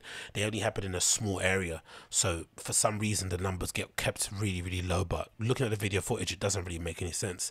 I just, I guess God's grace must have been shining on some of those kids out there. It continues. It says the post found that most who, most of those who died were close to each other in the viewing area, south quadrant, where witnesses describe people collapsing under the pressure of the crowd God almighty. The victims who died included a dancer, an aspiring border agent, a student athlete, a computer programming student, a district manager at AT&T, a marketer, a pair of best friends, and nine-year-old. Their names are Mirza Baig, Rodolfo Pena, um, Madison Dubiski, Bharti Shahani, um, I think that was the girl that was on life support in it. God damn it. Um, Axel Avial, Franco Patino, Jacob Jurinek, Brianna Rodriguez, John Hilgert, and Ezra Blount, of course, the nine-year-old. Like, God damn it! In a released, sorry, in a related development, Scott has teamed up with United States Conference, a non-partisan organization to cite the population for. Got cool. Anyway, um, yeah, crazy in it, right? Absolutely crazy. So, if anything, this is maybe further confirmation that it probably is over for Travis in terms of him being able to resurrect whatever career he had beforehand, especially at the level that he was at. Because there's one thing if you were sort of like a, it's not even a good example to say. I was going to say ASAP Rocky, but it, it's one thing if he was just like a, not a smaller act, but if he was like an act that was just maybe only specific to like a hip hop audience, but he was essentially the black version of Post Malone in terms of his brand appeal. And because of that, it's very unlikely somebody at that level is going to want to do against 500 people shows. You know I mean, you're going to go back to want to be on that on that level that you had previously, and we're already seen with this whole story that came out about him with Coachella, where allegedly he was basically offering Coachella um, to play for free so that he could basically perform next year, and they still turned him down. So again, that proves my theory I said before that he doesn't necessarily feel as remorseful as people are making it seem as if he does. And I think all this sort of like what I've even said sometimes in the podcast, I said, oh, maybe he's just not saying he's sorry because he's trying to protect himself legally. I just don't even think he's sorry anyway because he doesn't think he was at fault. He clearly think it was maybe the fault of the organizers, maybe the people on the on the on the ground floor, maybe the whatever it may be who are handling it. They should be more responsible in doing that. He's basically just the entertainment. But unfortunately, this wasn't him performing at somewhere like a Coachella. This was him performing at his own festival called Astroworld. And I think what people are basically saying without saying is that if you're willing to be like the head and the kind of again there was a massive head he had to walk through to kind of get into the fucking festival of himself. But if you're willing to be like the face of a festival and you're willing to receive all the plaudits when it goes right and everyone says oh my god what an amazing set. How well organized. You also have to be willing and ready to accept the consequences if it goes wrong because you're the face of it right? You just have to accept it. And i think he's him not respect accepting it. And again the victims being children i just don't see a way back for the guy. I really really don't and then to make matters even worse, if that wasn't worse already as it is, this really disgusting story comes out courtesy of TMZ that says the following. Travis Scott leading effort to fix concert safety, joining music safety and government leaders. Like, what? What sort of nonsense is this? Like, what sort of nonsense? Again, this is the PR team at work desperately trying to resurrect or kind of, um, you know, keep alive whatever career he has, of, of course, to protect their own interests. It's not necessarily looking after him in any way, shape, or form because these headlines don't help. Coupled with his kind of lack or refusal to apologize or take accountability, and then the offer to pay for the funeral services of some of the victims who I think a couple of them turned them down. Maybe I think only the nine year old family if supposedly I think I read somewhere turned it down. And then coupled with this, it just smells of somebody trying to spin a bit of good PR in their favor, which again you can understand why because he's taking a complete beating in the media. But I would imagine this would be a time just to kind of sit it out and let it play out in the courts. Again, I don't expect this guy to go to jail. It's probably a bit excessive to think he's going to go to jail, but there's going to be massive fines paid out. He's going to suffer reputationally for it. Similar to like, again, not similar because again, that's a frivolous account, but similar to kind of Jussie Smollett and what he's going through. As time has passed, you don't want the guy to rot in prison anywhere. No one ultimately got hurt um, off of him doing that hoax. He's already been publicly embarrassed. His career's already done anyway. He should get a fine, maybe a slap on the wrist, but that should be it. He shouldn't be spending any time in jail or in prison. It's not that serious, not that deep. But I think with this Travis Scott thing, it's really difficult to say he's completely at fault for everybody dying there. Of course, he played some role in it, which is why, of course, he's in trouble. But to expect him to spend 10, you know, uh, unspecified time, you know, flipping football number times or triple digit times in flipping prison is really excessive. She gets some level of punishment, but let's not go too overboard. But again, he's not doing himself any favors with all these kind of forced attempts at kind of correcting the narrative. It's just making him seem callous. It's making him seem like he has no empathy, um, like he's not understanding the gravity or the of, of what's basically occurred, and he just thinks he could just kind of keep it moving. It's like, nah, it can't, mate. You cannot, and this isn't going to help because no one cares. Because essentially, what's happened now to him especially off the back of that Charlemagne interview, especially off the back of the announcement from Coachella, it looks like all the whites have moved away from it, right? All the white people who were basically propping him up and making him to be a far bigger star than probably he would have been if he just stuck to hip hop. They've now basically turned their eyes, turned their back on him because he's bad for business, right? And if you know those brands, those white people, as soon as you become bad for business, they jump off you like a hot potato. Do you know I mean? They have no qualms about turning their back on you, and suddenly they forget who you are. They don't answer your calls anymore. So the fact that he's lost them, doing all these sort of initiatives, isn't going to help because his fan base fan base exists in that world. He can't necessarily come back to hip hop because he was never of the hip hop. You know, never of the hip hop. He was never within. He was never really that guy in that scene anyway. He was mostly a kind of like I said, a white, a black version of Post Malone. So it's just one of those cases where you just have to sit it out. Let it play out in the courts and hope for the best, really. But all this sort of stuff isn't helping. Let's read a bit of the article. It says Travis Scott is getting to work to ensure an event like Astroworld tragedy never happens again, joining leaders and governments in the music um, in a first of its kind initiative TMZ has learned. Not learned, it's his PR sending that information to you. Sources with direct knowledge tell us Travis has spent the last few weeks meeting leaders of the United States Conference of Mayors, a group that represents interests of more than 1,400 cities across the country. Um, we're told the goal is to form a committee made up of members of government, public safety, emergency response, healthcare, event management, music and technology, and create a safety report for future shows to follow and ensure safety security. Mate, he's taking a piss. This is like again bad example, bad analogy, but spare me a minute. This is like somebody being accused of rape and then set up a charity for rape survivors. It's like read the room a little bit. You know what I mean? This probably isn't the time. Use some tact. Maybe sit this one out for a bit. We've obtained an outline of the group's goals, which also state it's aggressively um, focused on new technologies and innovations that offer ways to address these challenges. Outside of to, outside of Travis, the report will be led by a chair of the conference's Tourism, Parks and, and Sports Committee, Mayor Hillary Chavez or Schieve, whatever name is. That's only is it they only, named really one other person in this. No one no one else wants to put their name on this, isn't it? They're just all standing behind whatever committee it's called, but no one wants to put their name on it. Only this mayor has I don't know, maybe I'm reading too much into that one. You remember it's Travis's first interview since blah, blah, blah, he told Charlemagne that he felt he was responsibility to fix things moving forward and they should, should be sure that something like the Houston tragedy never happened again. That's again, that's presumptuous of him. He's actually thinking that he's going to get an opportunity to move it forward. What if no one wants to hear from you? What if people think you're a bad, um, what if you become bad for business for whatever group they want to set up and they decide to ditch you? How embarrassing would that be going forward? Um, of course he did but yeah, these are obviously the pictures of the victims. Like, just ugh, what a tragedy, man. Honestly, what a tragedy. Um, it's probably not going to get. It's probably going to get worse for Travis before it gets any better and better. And it's just gross again to see how publicists and PR work when they try and spin a tragedy or a really horrible mishap into something good for whoever um, their client is because they want to make sure they're able to keep their flipping Hollywood Hills mansion somewhere in it. It's flipping awful. It really, really is. And then to talk about more awful stuff in Hollywood, more gross people, it brings me nicely onto this topic, courtesy of Variety again, which says the following Jeff Garlin exits the Goldbergs after HR investigation on set behavior. And um, are we surprised? Probably not. And it's, you know what's funny about this too, just Jeff Garlin thing. He was somebody who came recently. I think he was on a podcast. I forgot which one it was. Maybe Michael Rapaport or somebody. I forgot who he was on the podcast with. He said something like, "Oh, um, when somebody mentioned um, Legion of Skanks, right? Or what's this festival they got on? They got a Skank Fest, right? Festival. The stuff that obviously Lucy Luis J Gomez does." Um, and he said, "Oh, how would you call your festival Skankfest? What a terrible name! That doesn't breed confidence. That's just awful. I don't know." He got on his flipping moral boomer high horse about the whole thing, right? This is too edgy. This is ridiculous. This is not funny. When in fact he's the guy that's being investigated for onset HR issues, which you're going to assume isn't him flipping flipping out on a flipping intern. It's probably him doing something gross to some un, unbeknown young lady who's on set. So the guy that's kind of berating the Legion of Skanks guys for having a terrible name for a, fe- a comedy festival, which I agree with. Skankfest is probably not the greatest name for a festival and probably doesn't, you know, um, it's probably not a name that's going to welcome the masses. But that, again, they don't make it for the masses; they make it for a core group of people who are really in tune with what they do and like their brand of comedy.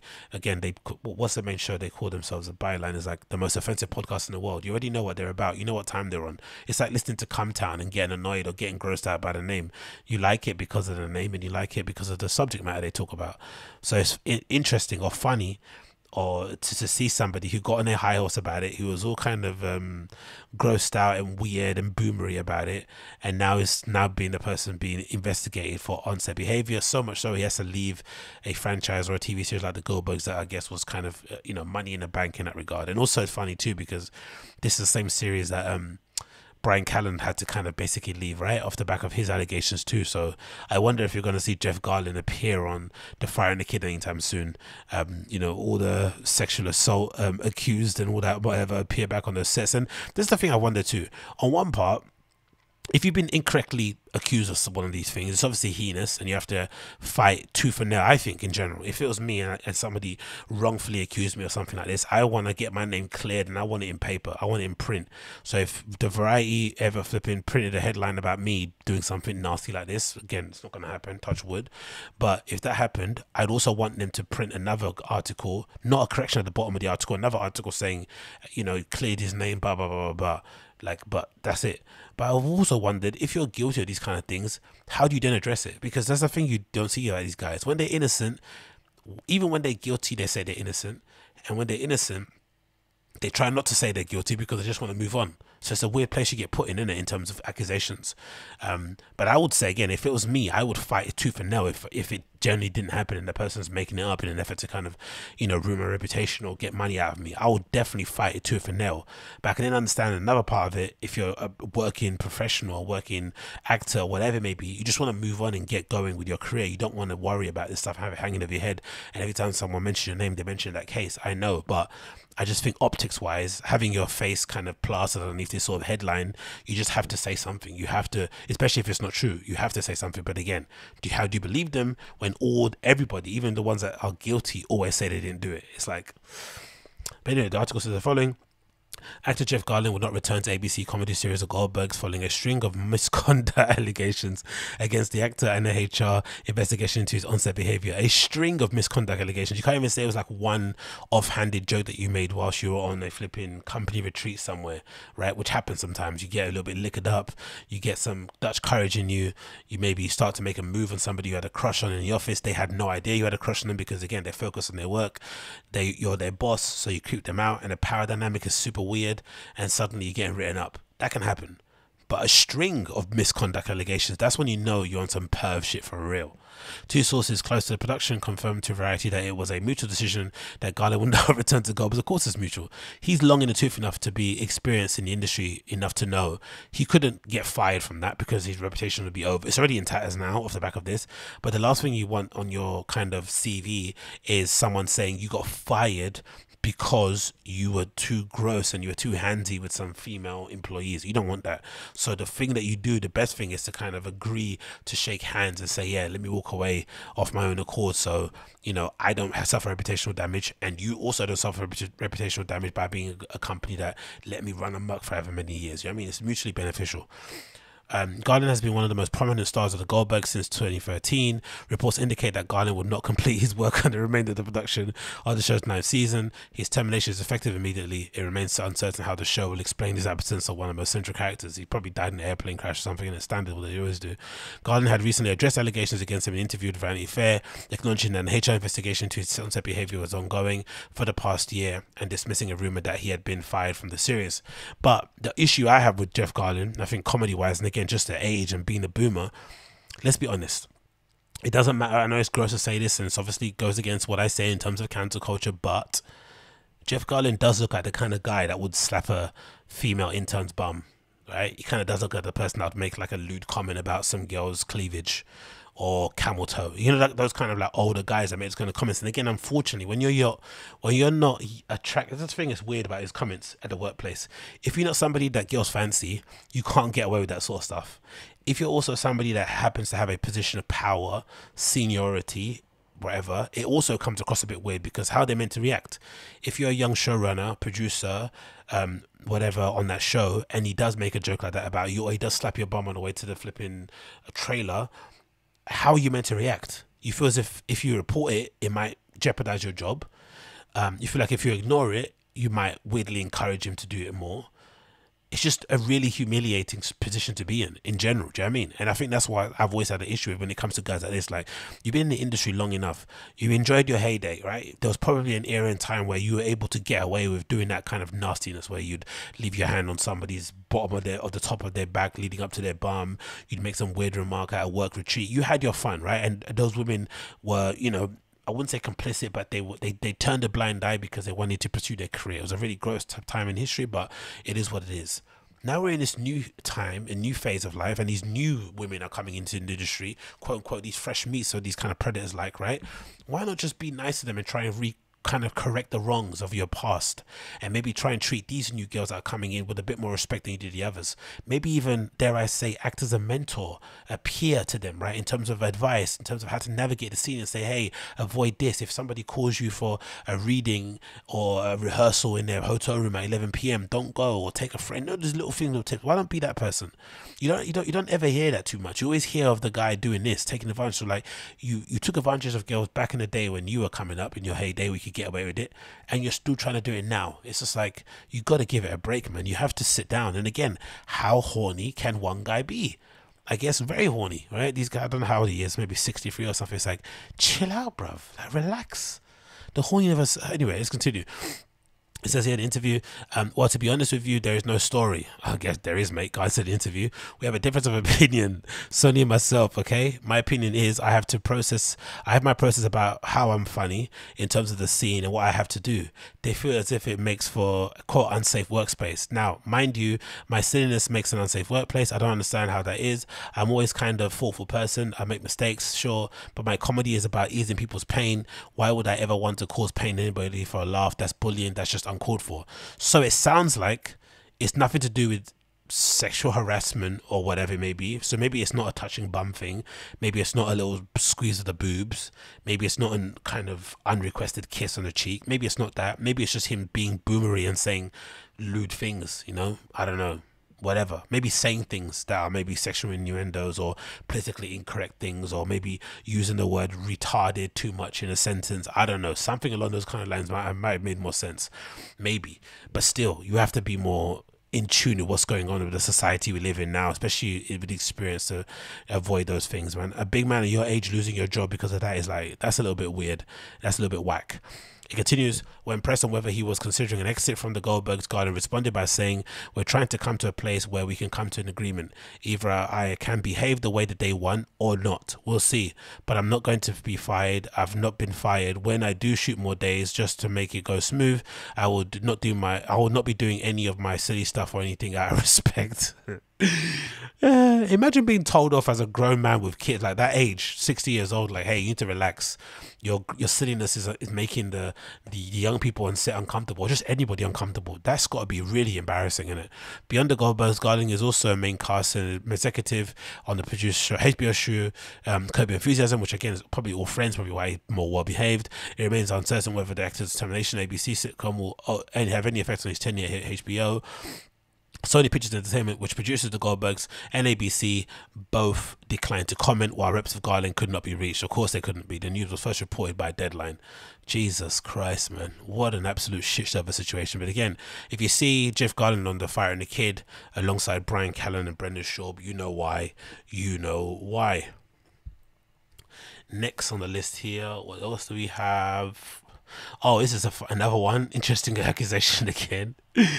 we have this courtesy of BBC News.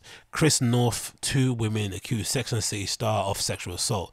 What an absolute whirlwind it's been for this guy, right? This is Mr. Big in Sex and the City. Again, I don't watch the show, but I've just seen on social media everyone that I follow, especially all the gays and all the girls, have been going crazy over this Sex and the City reboot or sequel, whatever it's been called now. I don't even think it's called Sex and the City. I forgot what it's called, whatever, right? Basically, again, spoiler alert, but in one of the first episodes, um, Mr. Big, who's the love interest of Sarah Jessica Parker in the series, dies, isn't it? Right? He has a heart attack whilst he's pedaling on a fucking peloton.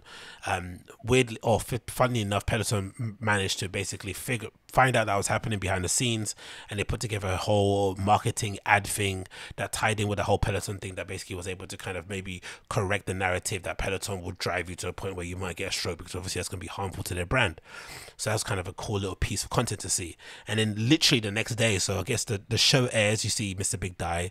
The next day, Peloton puts out a little bit of a funny, tongue in cheek sort of ad, kind of poking fun at him dying on Peloton and kind of correcting that narrative. And then the third day, my man gets accused of flipping sexual assault.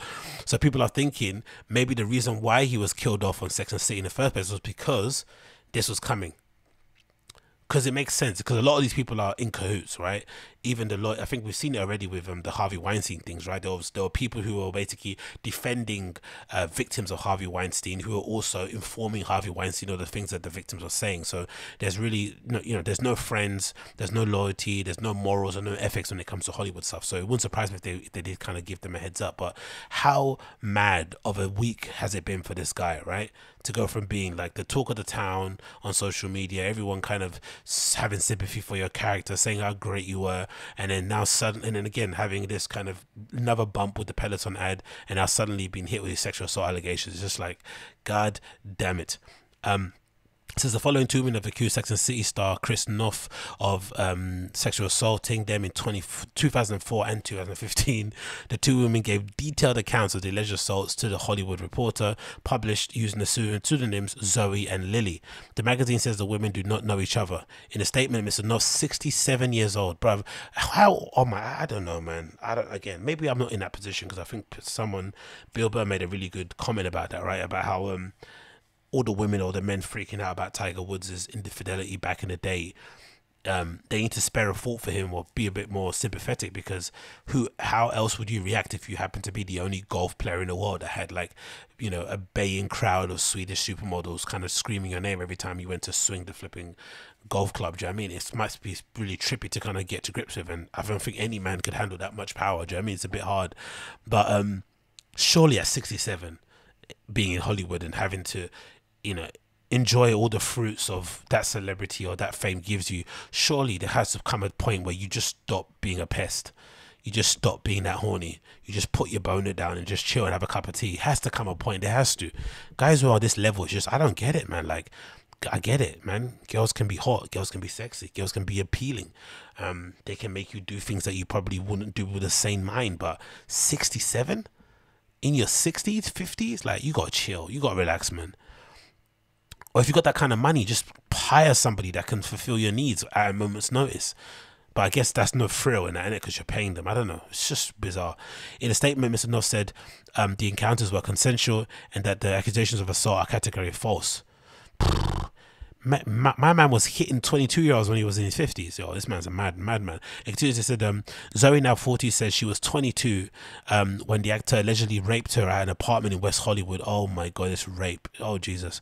Lily, now 31, says that he, she was raped at Green, Village apartment in 2015 when she was 25 and he was 60. The details of the article by journalist Kim Masters also interviews people such as Zoe's boss at the time, a rape treatment center, and a friend of Lily's who accounts all seem to back up the women's claims. So they obviously report reported the incidents.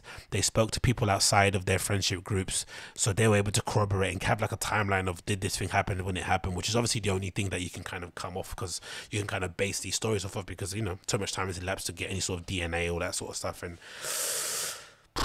The article also quotes text messages purportedly between Mr. Noth and Lily at the time of the alleged assault. Chris Noth is known for his acting roles in Law and Order and Sex and the City, which he's played the lead character, Mr. Big.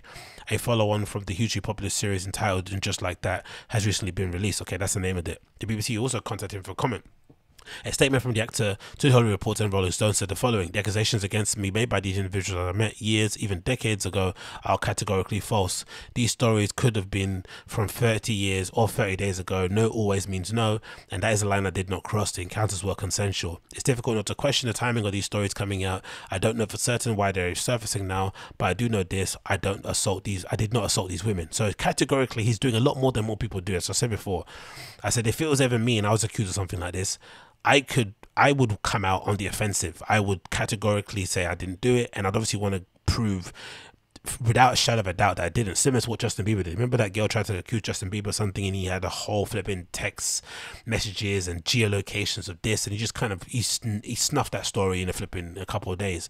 That's what you have to do and you have to obviously hope to get a retraction from whatever paper published the first reports or maybe get a correction, whatever you want. But this whole going silent, just letting it kind of lay, is not a right thing, especially if you generally think you didn't do it. No one wants a flipping rape hanging over their head and people just hoping that you didn't do it and maybe assuming that you didn't do it, but there's no categorical proof and you didn't actually get it in writing in black and white. So I can understand that, but I don't know, man. When when you get accounts of the victims who say, "Hey, this happened to me. I contacted the rape counselor. I contacted my friend at the time." Like, if they said at the time, then obviously the thing you have to kind of try and disprove, because I guess yeah, the thing you have to disprove because it's hard to say if it happened or not because we weren't there. But if if at the time that I'm saying it happened, I told somebody close to me, I went to a place to kind of get consultation as to how I can proceed to the next step. Did I decide not to go to police because for my own reasons?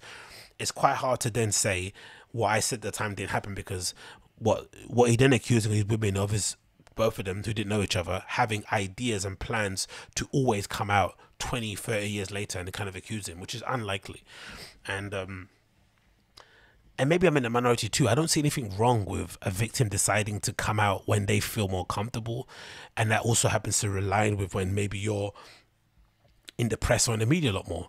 I think that's what happened to Chris D'Elia, right? Chris, that's what happened to Chris D'Elia. I think Chris D'Elia was on You, and he was on getting loads of promotion because he was meant to be on that um, zombie film as well, and he was everywhere, right? Loads of media, loads of press. So the girls that were watching him on TV or seeing him on all their Netflix and shit were starting to get annoyed, like, oh, there's that guy again that assaulted me. And then they started tweeting stuff, and then suddenly the, the story gets picked up, and then boom, you know, you get cancelled. I don't think there's anything wrong with that. Do you know I mean? If you did what they said you did, and you happen to be in front of their face all the time, what do you expect them to do? Do you know what I mean? Like keep quiet. Like maybe this is the most opportune moment, especially nowadays in society where people are more willing and ready to maybe listen to stories of victims. But again, on the other side too, I'm also thinking like if it's not true, what do you do? How do you go about correcting it? Because if you keep fighting it, you're going to keep bringing the story to the surface. Maybe there's going to be more research and um, journalistic work done in terms of digging into the story and finding out if it's true. And if there is more evidence that paints you out in a bad light, you then basically make a rod for your own back. But if it isn't true, just letting the story go and kind of get legs on its own is definitely going to lead to some catastrophic kind of consequences. And this guy at 67 years old, all he's known is to be an actor, all he's known is to be some sort of entertainer.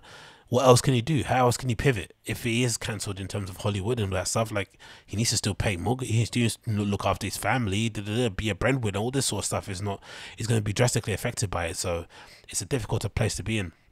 It continues here. It says, according to Hollywood Reporter, Lily, now a journalist, contacted the publication in August, and Zoe, who works in the entertainment industry, made contact in October. So quite some time apart. Um, quite some time, but you know what I mean. As a buzz about the release of Just Like That was gaining momentum, seeing as he was reprising his role in Sex and City, set off something in me. Said Zoe quoted saying to try and go public with who he is. Yeah, but yeah, it sounds opportunistic. It really does. But again, does it matter if it did happen? That's a question you got to ask yourself. The article says Zoe was living in Los Angeles in 2004 and employed by a company that worked with Mr. Noth and other celebrities. Following what she described as flirtations, Zoe says she accepted an invitation to visit him at his West Hollywood apartment where he allegedly raped her. Afterwards, a friend insisted that she go to hospital where she needed stitches because of the assault. Oh my god. Police came to speak to her, but she says she refused to reveal who assaulted her. Zoe did, however, tell her boss at the time that the reporter says um, it spoke to them and they back up Zoe's those claims in 2006. Of course they do. They're not, they're not going to say no, are they? Because that's going to make you look like a fucking weirdo too. Um, Zoe did, however, tell her boss at the time da, da, da, in 20, 2006. Zoe says she sought counseling at the UCLA Rape Crisis Center. God damn it, Mr. Noth. After she started um, having nightmares and flashbacks without addressing her case specifically, a clinical director at the center confirmed to the reporter that Zoe was treated there.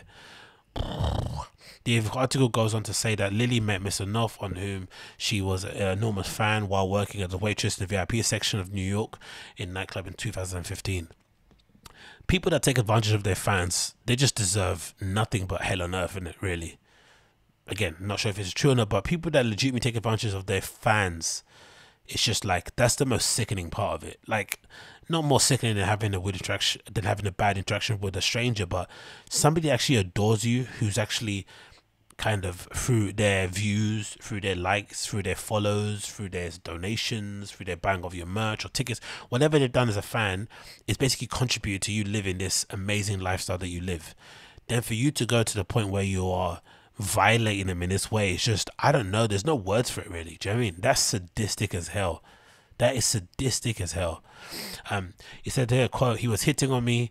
Uh, for sure, I was flattered. I knew he was married, which is shameful of me to admit the the two went out for a drink, she said, before going back to his apartment where he tried to make out with her before allegedly pulling down his pants and raping her.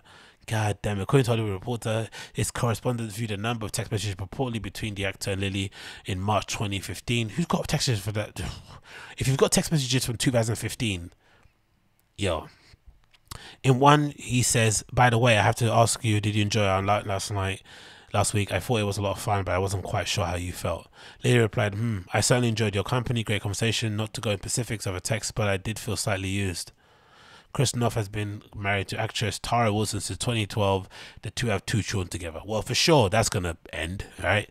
Unless she's like a big person, Hollywood herself. She's definitely going to end up leaving him, I think, off the back of this, because those are some detailed accusations. There's text messages, there's witnesses and shit you don't really think she's going to be hanging around anytime soon, you reckon? Oh, a black lady as well. God, is that black lady? What do you say, black lady? Or is she um Chrissy Teigen level black? Who knows? But yeah, mass situation to be in as per usual. Gross guys doing gross things. No surprise that one. Um, what else is going on here? Oh, this is an update courtesy of the BBC when it comes to COVID and whatnot. Mr. Boris Johnson said we're not looking at the country. Thanks a bunch, brother. We're not looking at the country, despite the cases going up, despite everyone panicking about Omicron, even though people from South Africa who have studied the virus are telling us it's nothing to worry about. People are basically panicking, they're getting agitated because it's flu season, because the cases are going up, even though the deaths aren't. And we're just in this constant spiral that we're going to keep going. And I just think to myself as well, like, if it's the case that we're going to get new mutations or the virus is going to be more aggressive during the winter times because of flu season, does that mean we're going to have to keep getting offered jabs or boosters every winter? And if that's the case, are you going to keep getting them every year like a top up? Every single year, you're going to get a booster just to allow you to go to the pub or allow you to go on holiday. Because I have heard again this other story that's saying that allegedly um, soon boosters are going to be a compulsory part of having a kind of a COVID pass, a, a, one that's basically been verified, you're going to have to have a booster. It's not going to just count anymore. You're going to be covered anymore just having two shots. You're going to have to have a booster or whatever else is going to happen during that time because we already had a Delta variant. Now we've got the Omicron or Marion variant. We're going to have another variant, of course, pop up as, as per usual because it looks like this virus is pretty um, resilient. It hasn't necessarily, what did Trump say? It's not washed its way through. Remember, he was saying that it's going to wash through. It didn't wash through. It's still alive and kicking what happens then? Do we just keep getting jabbed until the end of time? I'm not really for that personally. I got to be honest, I'm not for that. Um, let's continue the story here quickly. It says the Prime Minister said he was not telling the public to cancel events, but urging them to exercise caution. Again, what does that mean? It comes as Chief Executive Officer, sorry, Chief Medical Officer Chris Whitty suggested people prioritize activities in the run up of Christmas. Conservative MP Steve Bryan accused the government of putting hospitality into effective lockdown. Agree with that one. Uh, Mr. Bryan said Professor Whitty's comments meant businesses were facing complete ruin and more complete government support was needed. And I've read that as well. I think I've read a lot of restaurant owners, a lot of people within that hospitality industry basically saying that the announcements the last couple of weeks have been really kind of ill advised or irresponsible because essentially when you tell people to work from home it essentially makes people cancel all their christmas holidays right or christmas sorry gatherings most people cancel their dinners and whatnot especially the big corporate ones where they kind of booked out venues or went to restaurants and shit. And I think one person, I forgot who it was, I saw said said like in a week she or he had like a hundred cancellations in one week, um, which obviously makes sense if you're a big establishment and you've got mostly corporate people coming to book tables, especially around Christmas, and then suddenly they tell you, oh, you got to work from home companies are going to want to take advantage of that kind of saving of money and be like, okay, cool, let's work from home then because it's going to cost a lot of money to feed all your people. So if someone gives you an excuse to cancel it, you'll cancel it. But then, of course, for the restaurants themselves, it's a complete death blow, especially since they've only had a short period of time to try and get back on their feet after all the amounts of lockdowns and restrictions that were in place.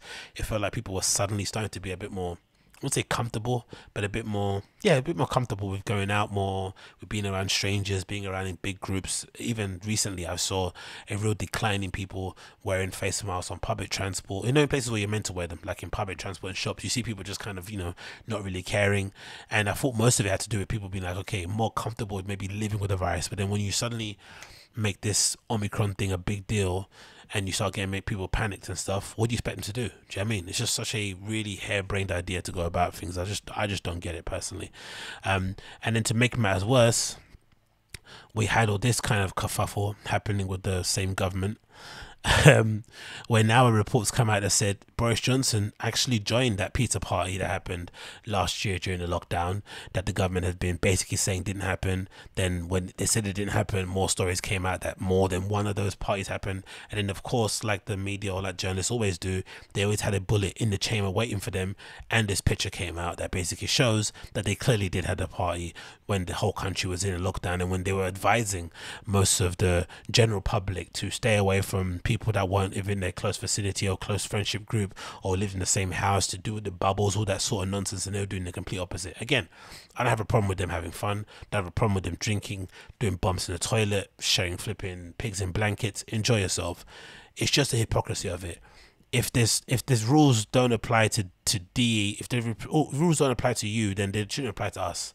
Do you know I mean? And if you're not taking it seriously because you don't think, again, maybe maybe this is born out of just naivety, or maybe it's born out of just not taking the thing seriously enough. But if they generally think, from the data they have available, that the virus isn't that big of an issue, why not try and reassure the public that way? Why are you privately dealing with it one way, but then publicly dealing with it another? That's the thing I just don't like because I feel like that's where people feel like they're being played, and that's where, ironically, conspiracy theorists come in and basically claim authority or claim basically the um, claim narrative. But you, know I mean, you get I mean, capture people's imagination. I get why, because if the government are doing this, you know, pretending like it's a big deal in public, wearing their face masks everywhere, and then suddenly you see a picture of them not wearing it and just fucking around and you know having drinks in the bar, it makes you unthink to yourself: Do they not take the virus seriously, or are they privy to information that's basically led them to believe that more likely than not the virus isn't that big of a deal for most people and if you get it you'll be fine what are where are they going with this?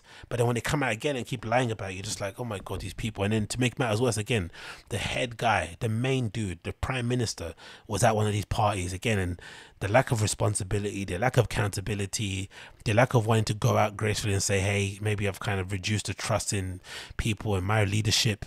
It's just frightening. And maybe again, this is why I say always why I have such delusional sense of self when it comes to my own career and my ability to become successful, to become rich, to become well known, to become a voice of maybe um, reason in a culture, to be somebody that people kind of refer to or defer to in certain things. It's because of this when I see politicians or when I see people in power who do stupid things, who act in a really irresponsible way, who just have very um, unappealing parts of their personality broadcasted 24 7, I think to myself, if they can do it, knowing that he went to all the best schools, private schools, a great education, um, great family life in terms of people that can help him in terms of his career, all the flipping chips in his favor, was given a flipping silver spoon from the day he was born if this guy is such a failure, then I have all the chance, all the possibilities to become somewhat of a less failure than he is, right? Think about it. Because if Boris Johnson can legitimately be the prime minister of this country, if the Tories can do what they're doing to this country, and again doing to their own base, because you'd imagine a lot of actual Tory voters are probably a bit disillusioned with their party um, during these times, unless they want to make excuses for them, which I doubt it.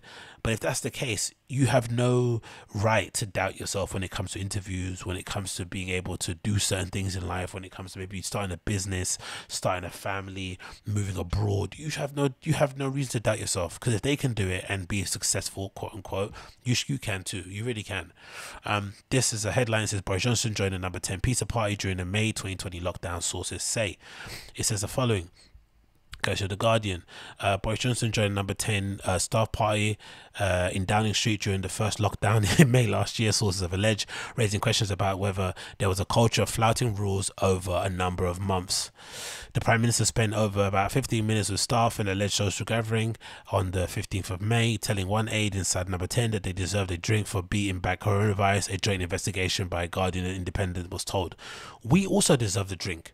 But you told us we couldn't have a drink with our family members, that we had to hug our grandparents through flipping cling film and shit. These guys, man. Since um, sources claimed about two, 20 staff drinks, again, they what what did they what did they deserve? What did they beat back? For anything, they've kind of dealt with it poorly. If anything, we've been quite lucky that we've had only the amount of deaths that we've had over the last couple of flipping months, especially given the um the kind of uh, unhealthy nature of most of our population. Come on, man, or some of our population. Sources claimed about 20 staff drank wine, spirits, and ate pizza following a press conference on that day. Some in offices inside number 10 and others going into the garden. Some staff stayed drinking until late into the evening, they alleged. Uh, rules at the time allowed only two people from two different households to meet outside at a two dis- distance meter. Early that evening, Matt Hancock, then Health Secretary, had urged people to stay at home as much as possible and then asked people to please stick with the rules, please stick with the rules, keep an eye on your family, and don't take a risk during the period of good with. And I think that was the same time he was cheating on his wife and shit, in it, right? Fair. And then you got the other side of things. You got Kay Burley on Sky Sports News and shit. Oh no, Sky News. You know, berating everybody or berating the politicians for them flying the rules, and then it gets her pictured her with all her friends, Ruth Gigsby or Rigsby, whatever fucking name is, dancing around in Soho, hugging each other on their birthdays. It's like, you guys are sixty years. Again, some people. I don't understand some humans. Right? You're sixty years old. Does your birthday really matter that much? It doesn't. You're sixty. You're not twenty one. You know what I mean? Do like the rest of us do. Buy yourself a fucking bottle of bubbly at home. Have a couple of friends in. Do a couple of lines on the dinner table and keep it moving. You don't need to go out in Soho. You know what I mean? Like, anyway, claims followed a string of reports about similar alleged events in Downing Street and elsewhere during the subsequent lockdown last Christmas and suggest rules might have been broken over a series of months. The Metropolitan Police also announced they will contact two people who attended the Christmas party at the Conservative Party HQ on the 4th of December 2020 when indoor social distancing between households was banned. Around two dozen people were at the gathering, including Shaun Bailey the, of the Tories, the London Mayor candidate, and his campaign manager. The Scotland Yard did not say who um, the people they wanted to speak to were but they were questioning, sorry, they were investigating alleged breaches of health protection of coronavirus restrictions, regulations. So I think that Shaun Bailey guy retired, I think um stepped down, right? He's that black dude, which is obviously, uh, again, you know, the symbolism in that is kind of, you know, is there for to see, right? Um, the one minority that happened to be at one of these things is the first one to fall on his sword because he's got some level of honor and self-respect but then all the flipping you know all the all the all the other lots they decide to stay in their job oh mate you gotta love it strong immigrant mentality in that regard but yeah just a complete shit show of a situation. No real leadership. This is obviously decaying people's trust.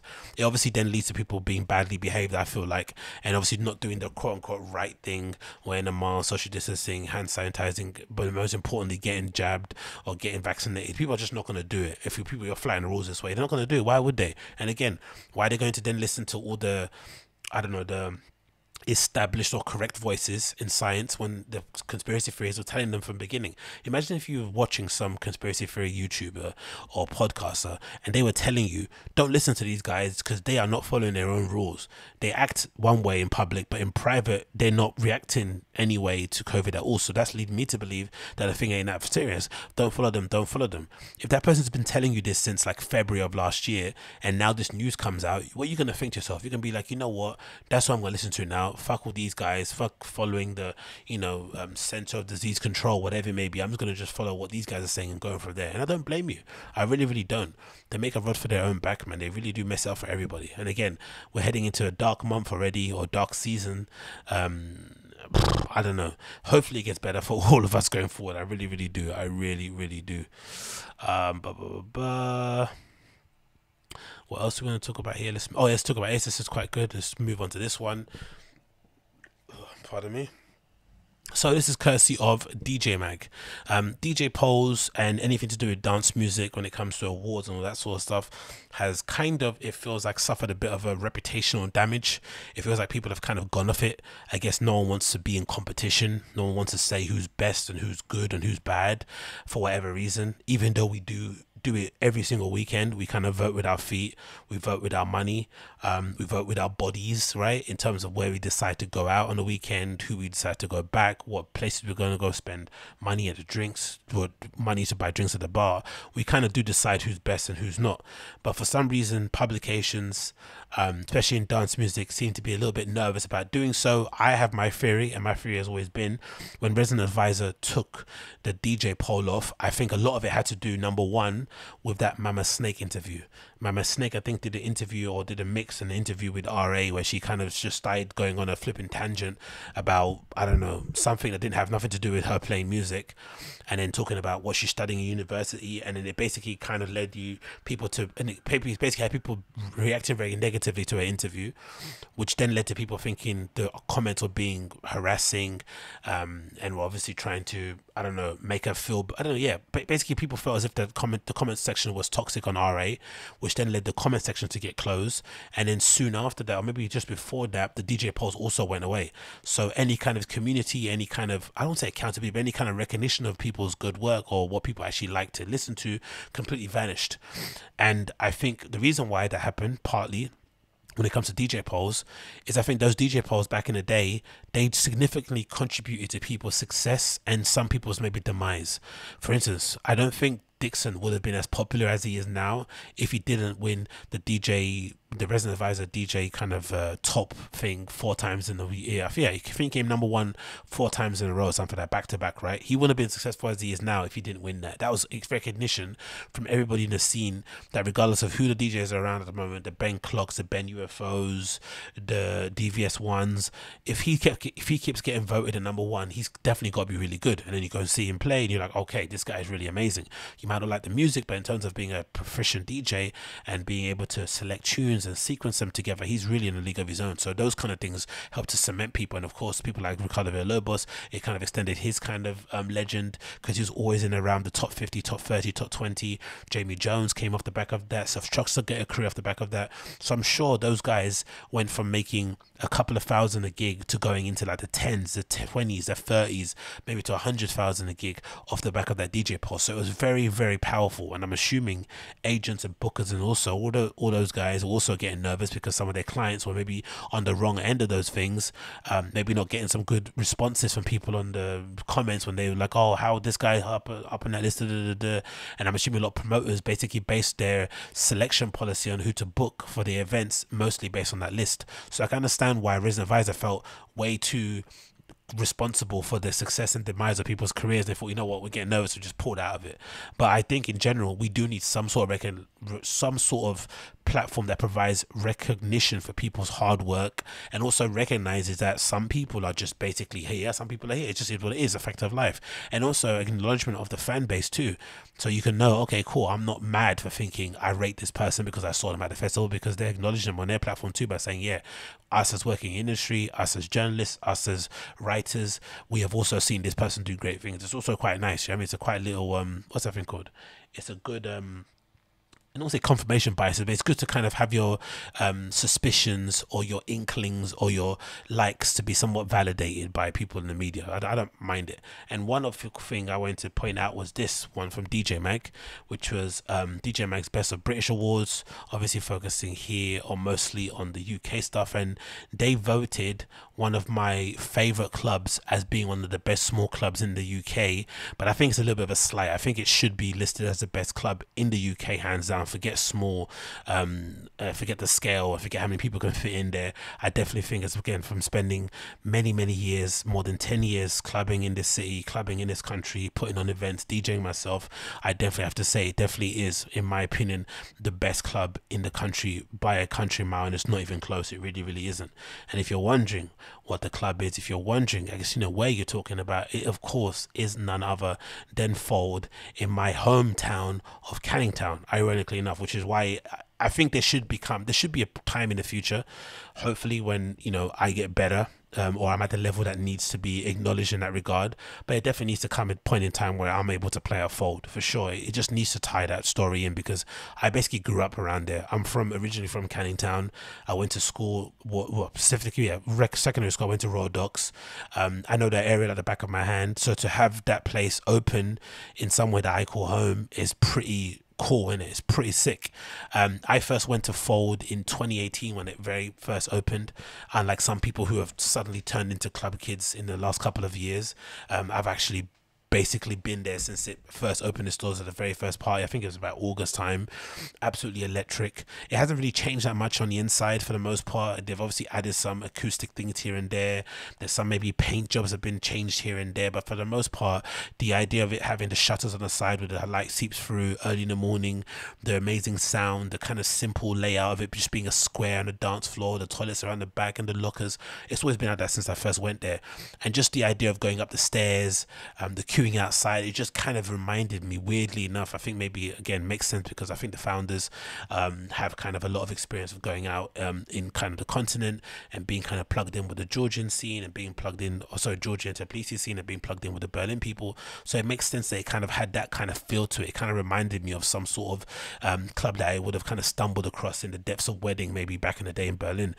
And it was the probably the closest thing that you could get to that sort of feeling. And I think when it first opened, they did kind of lean too heavily on the idea that oh we're inspired by Berlin, we're inspired by Berghain and shit, and maybe it didn't really have much of an identity, which makes sense when you're first starting. You have to kind of find your feet, and it's little by surely but slowly but surely over time, they kind of formed their own identity, and it really turned into kind of one of the better places to go and club in London on the weekend without even needing to check who's on the lineup.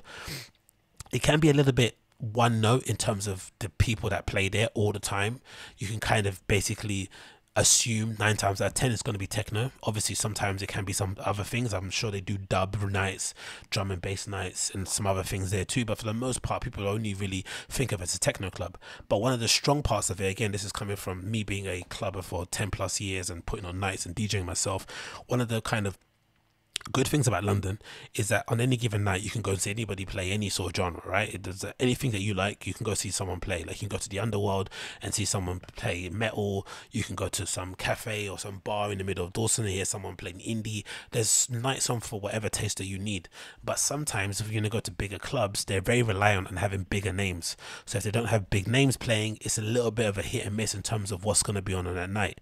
So it's quite cool to see a club like Fold open up and others as well well in London too, like even the Cause in some respect, where they're able to kind of focus in on a niche, focus in on who they basically appeal to, maybe not genre, mostly about kind of who they appeal to, the kind of person that is into certain types of music, and just focus in on that. So that what happens is that every weekend when you go, you're not expecting to see a big name. If anything, you're there to support up and coming club nights. And again, with their connections to people in mainland Europe and shit, they have people flying over from Berlin and stuff and other parts of Europe and to bring in their sort of like um, well known night or kind of night that's only known for people in the scene and bringing it over here into the UK and sort of exposing their artists, to the UK scene, and doing a little bit of a swap that way. And it really, really good. And it kind of brings out the best in clubland. And I think, if I'm honest, again, I think people are honest too if they say I don't think we had that many club kids prior to Fold opening. I think the club kids scene was maybe relegated to some alternative kind of um, queer nights, underground ones in Soho and shit.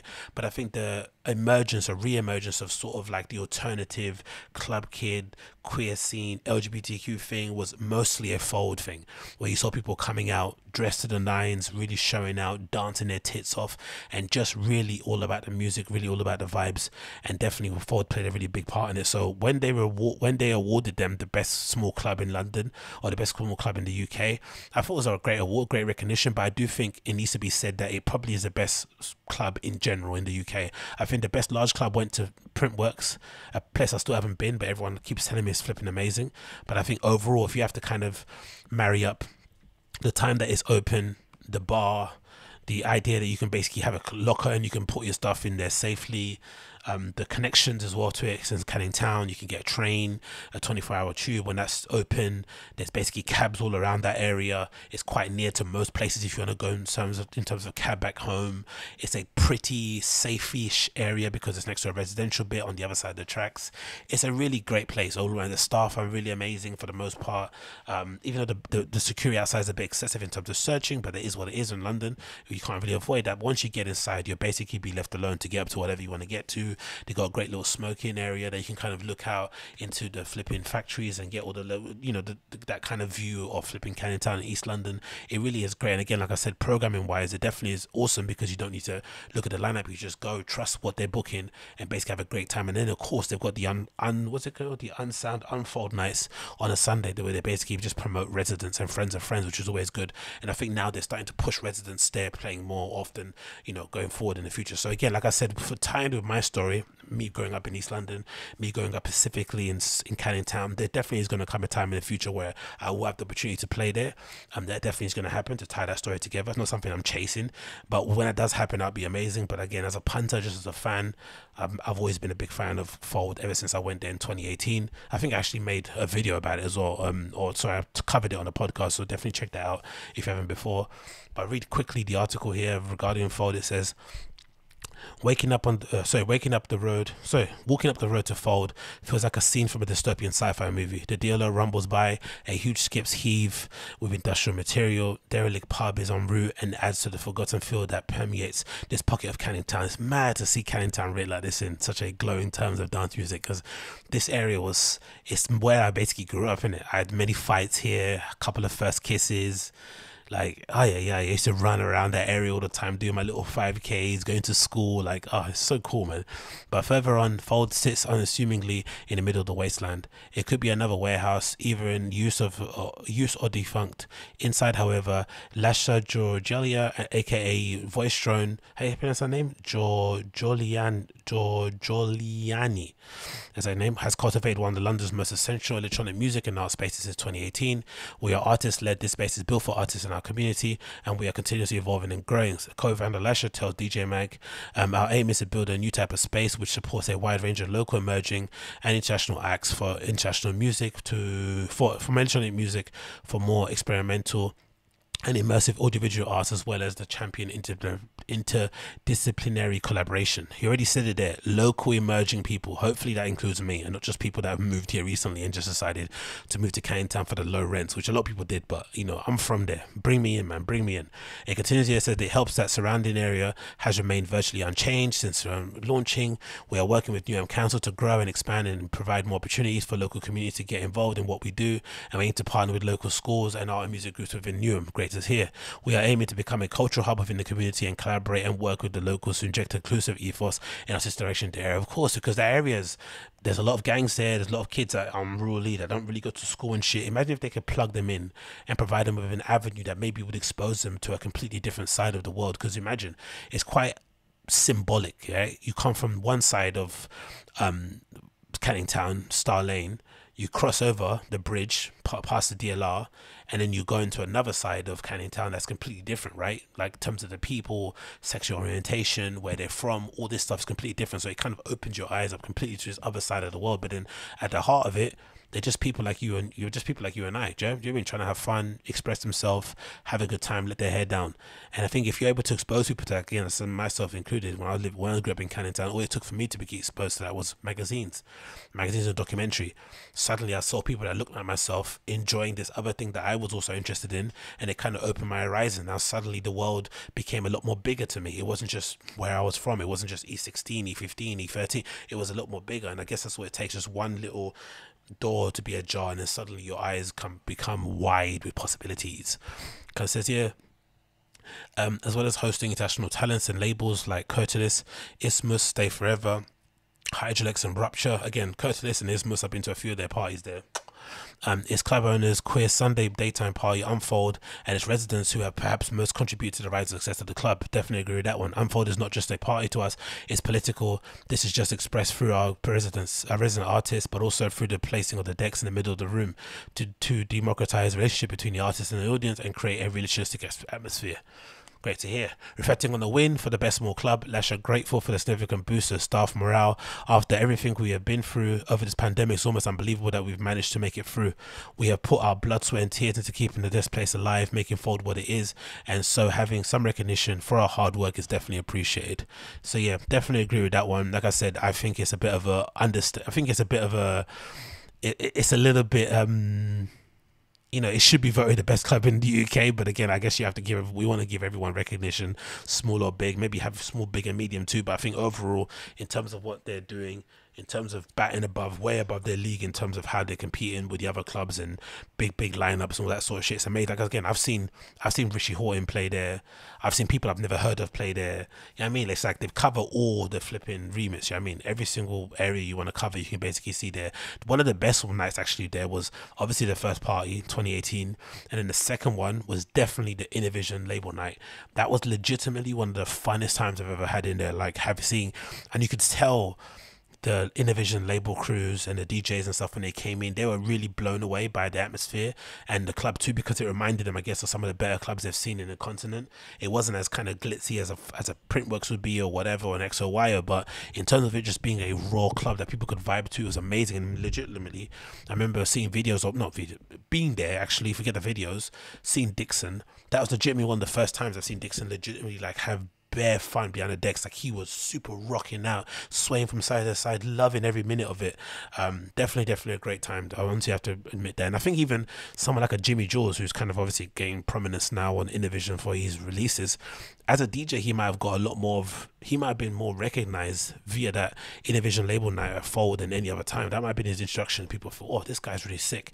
And they kind of went from there. But that Innervisions night and obviously the first party they had, the first dance, that was some of the most great times I've had in that club standing on that. I think, I don't know if they still got it. They've got a little platform next to the window where the, where the kind of light seeps through. They can stand on two and kind of go crazy. It's just all about the, and again, I'm sure there's a green room that does exist. I'm sure there's places you can go and have some fun on your own privately, but it's one of the only clubs where legitimately the place that matters is the dance floor. No one cares about anything else. Everyone just wants to be on that flipping dance floor, going crazy. And again, I can't have any more great words to say about that place, man. Definitely one of my favorite spots to go and go crazy at, and somewhere that I'll be again on Friday. I can't wait. I can't wait. Um, what else? I think, I think, I think that might be it actually. What time have I done it for? I think that might be it. Should I end it there because I'm speaking for time, haven't I? Oh, 148. Bloody hell, mate. I've been speaking for ages, haven't I? I've been speaking for flipping ages. What is happening here? I think that's it. Yeah, let's leave it there, maybe. Maybe I will leave it there because I've been speaking for way too long. Anyway, that's Excellent English episode number 529. Thanks again for tuning in. It's been a pleasure to have your company like I mentioned, I'm going out this weekend on Friday. Hopefully, gonna go to the. What am I, am I going to? I'm going to the Telehouse night in Fold. Actually, that should be pretty sick of a night. I'm not going to lie to you. So that's most of my weekend spent doing that, and the rest of it will be spent working and shit. Obviously going to the gym. Um, I'm obviously going to record the bonus episode of the podcast for my friends here on the podcast. So if you have not part of the Patreon, you haven't got subscribed, please do. I'm going to record a bonus episode for that, so definitely check that out. Have hitting your inboxes very, very soon. But yeah, I'm going to that Telly House night on the 17th, featuring um, F Jack, how you pronounce it, Cobalt Seal. It'd be interesting to see him. Um, Andy, Anita, had one, Solomon, um, Kanda, Otta, Voice Drone, Annabelle Arroyo, Alibi Hardaira, Jizo Gides, Vindia, Bill Rogers, and Stephanie Heim. So it should be an absolute barnstorm of a night. I can't wait to go to that one. So if you're around and you see the kid, say hi, say hi, holla. And apart from that, that's it really, innit? Taking it easy, being safe. Hope you guys be safe too. And I'll see you guys again on the other side, innit? Peace out, be safe, and cheers.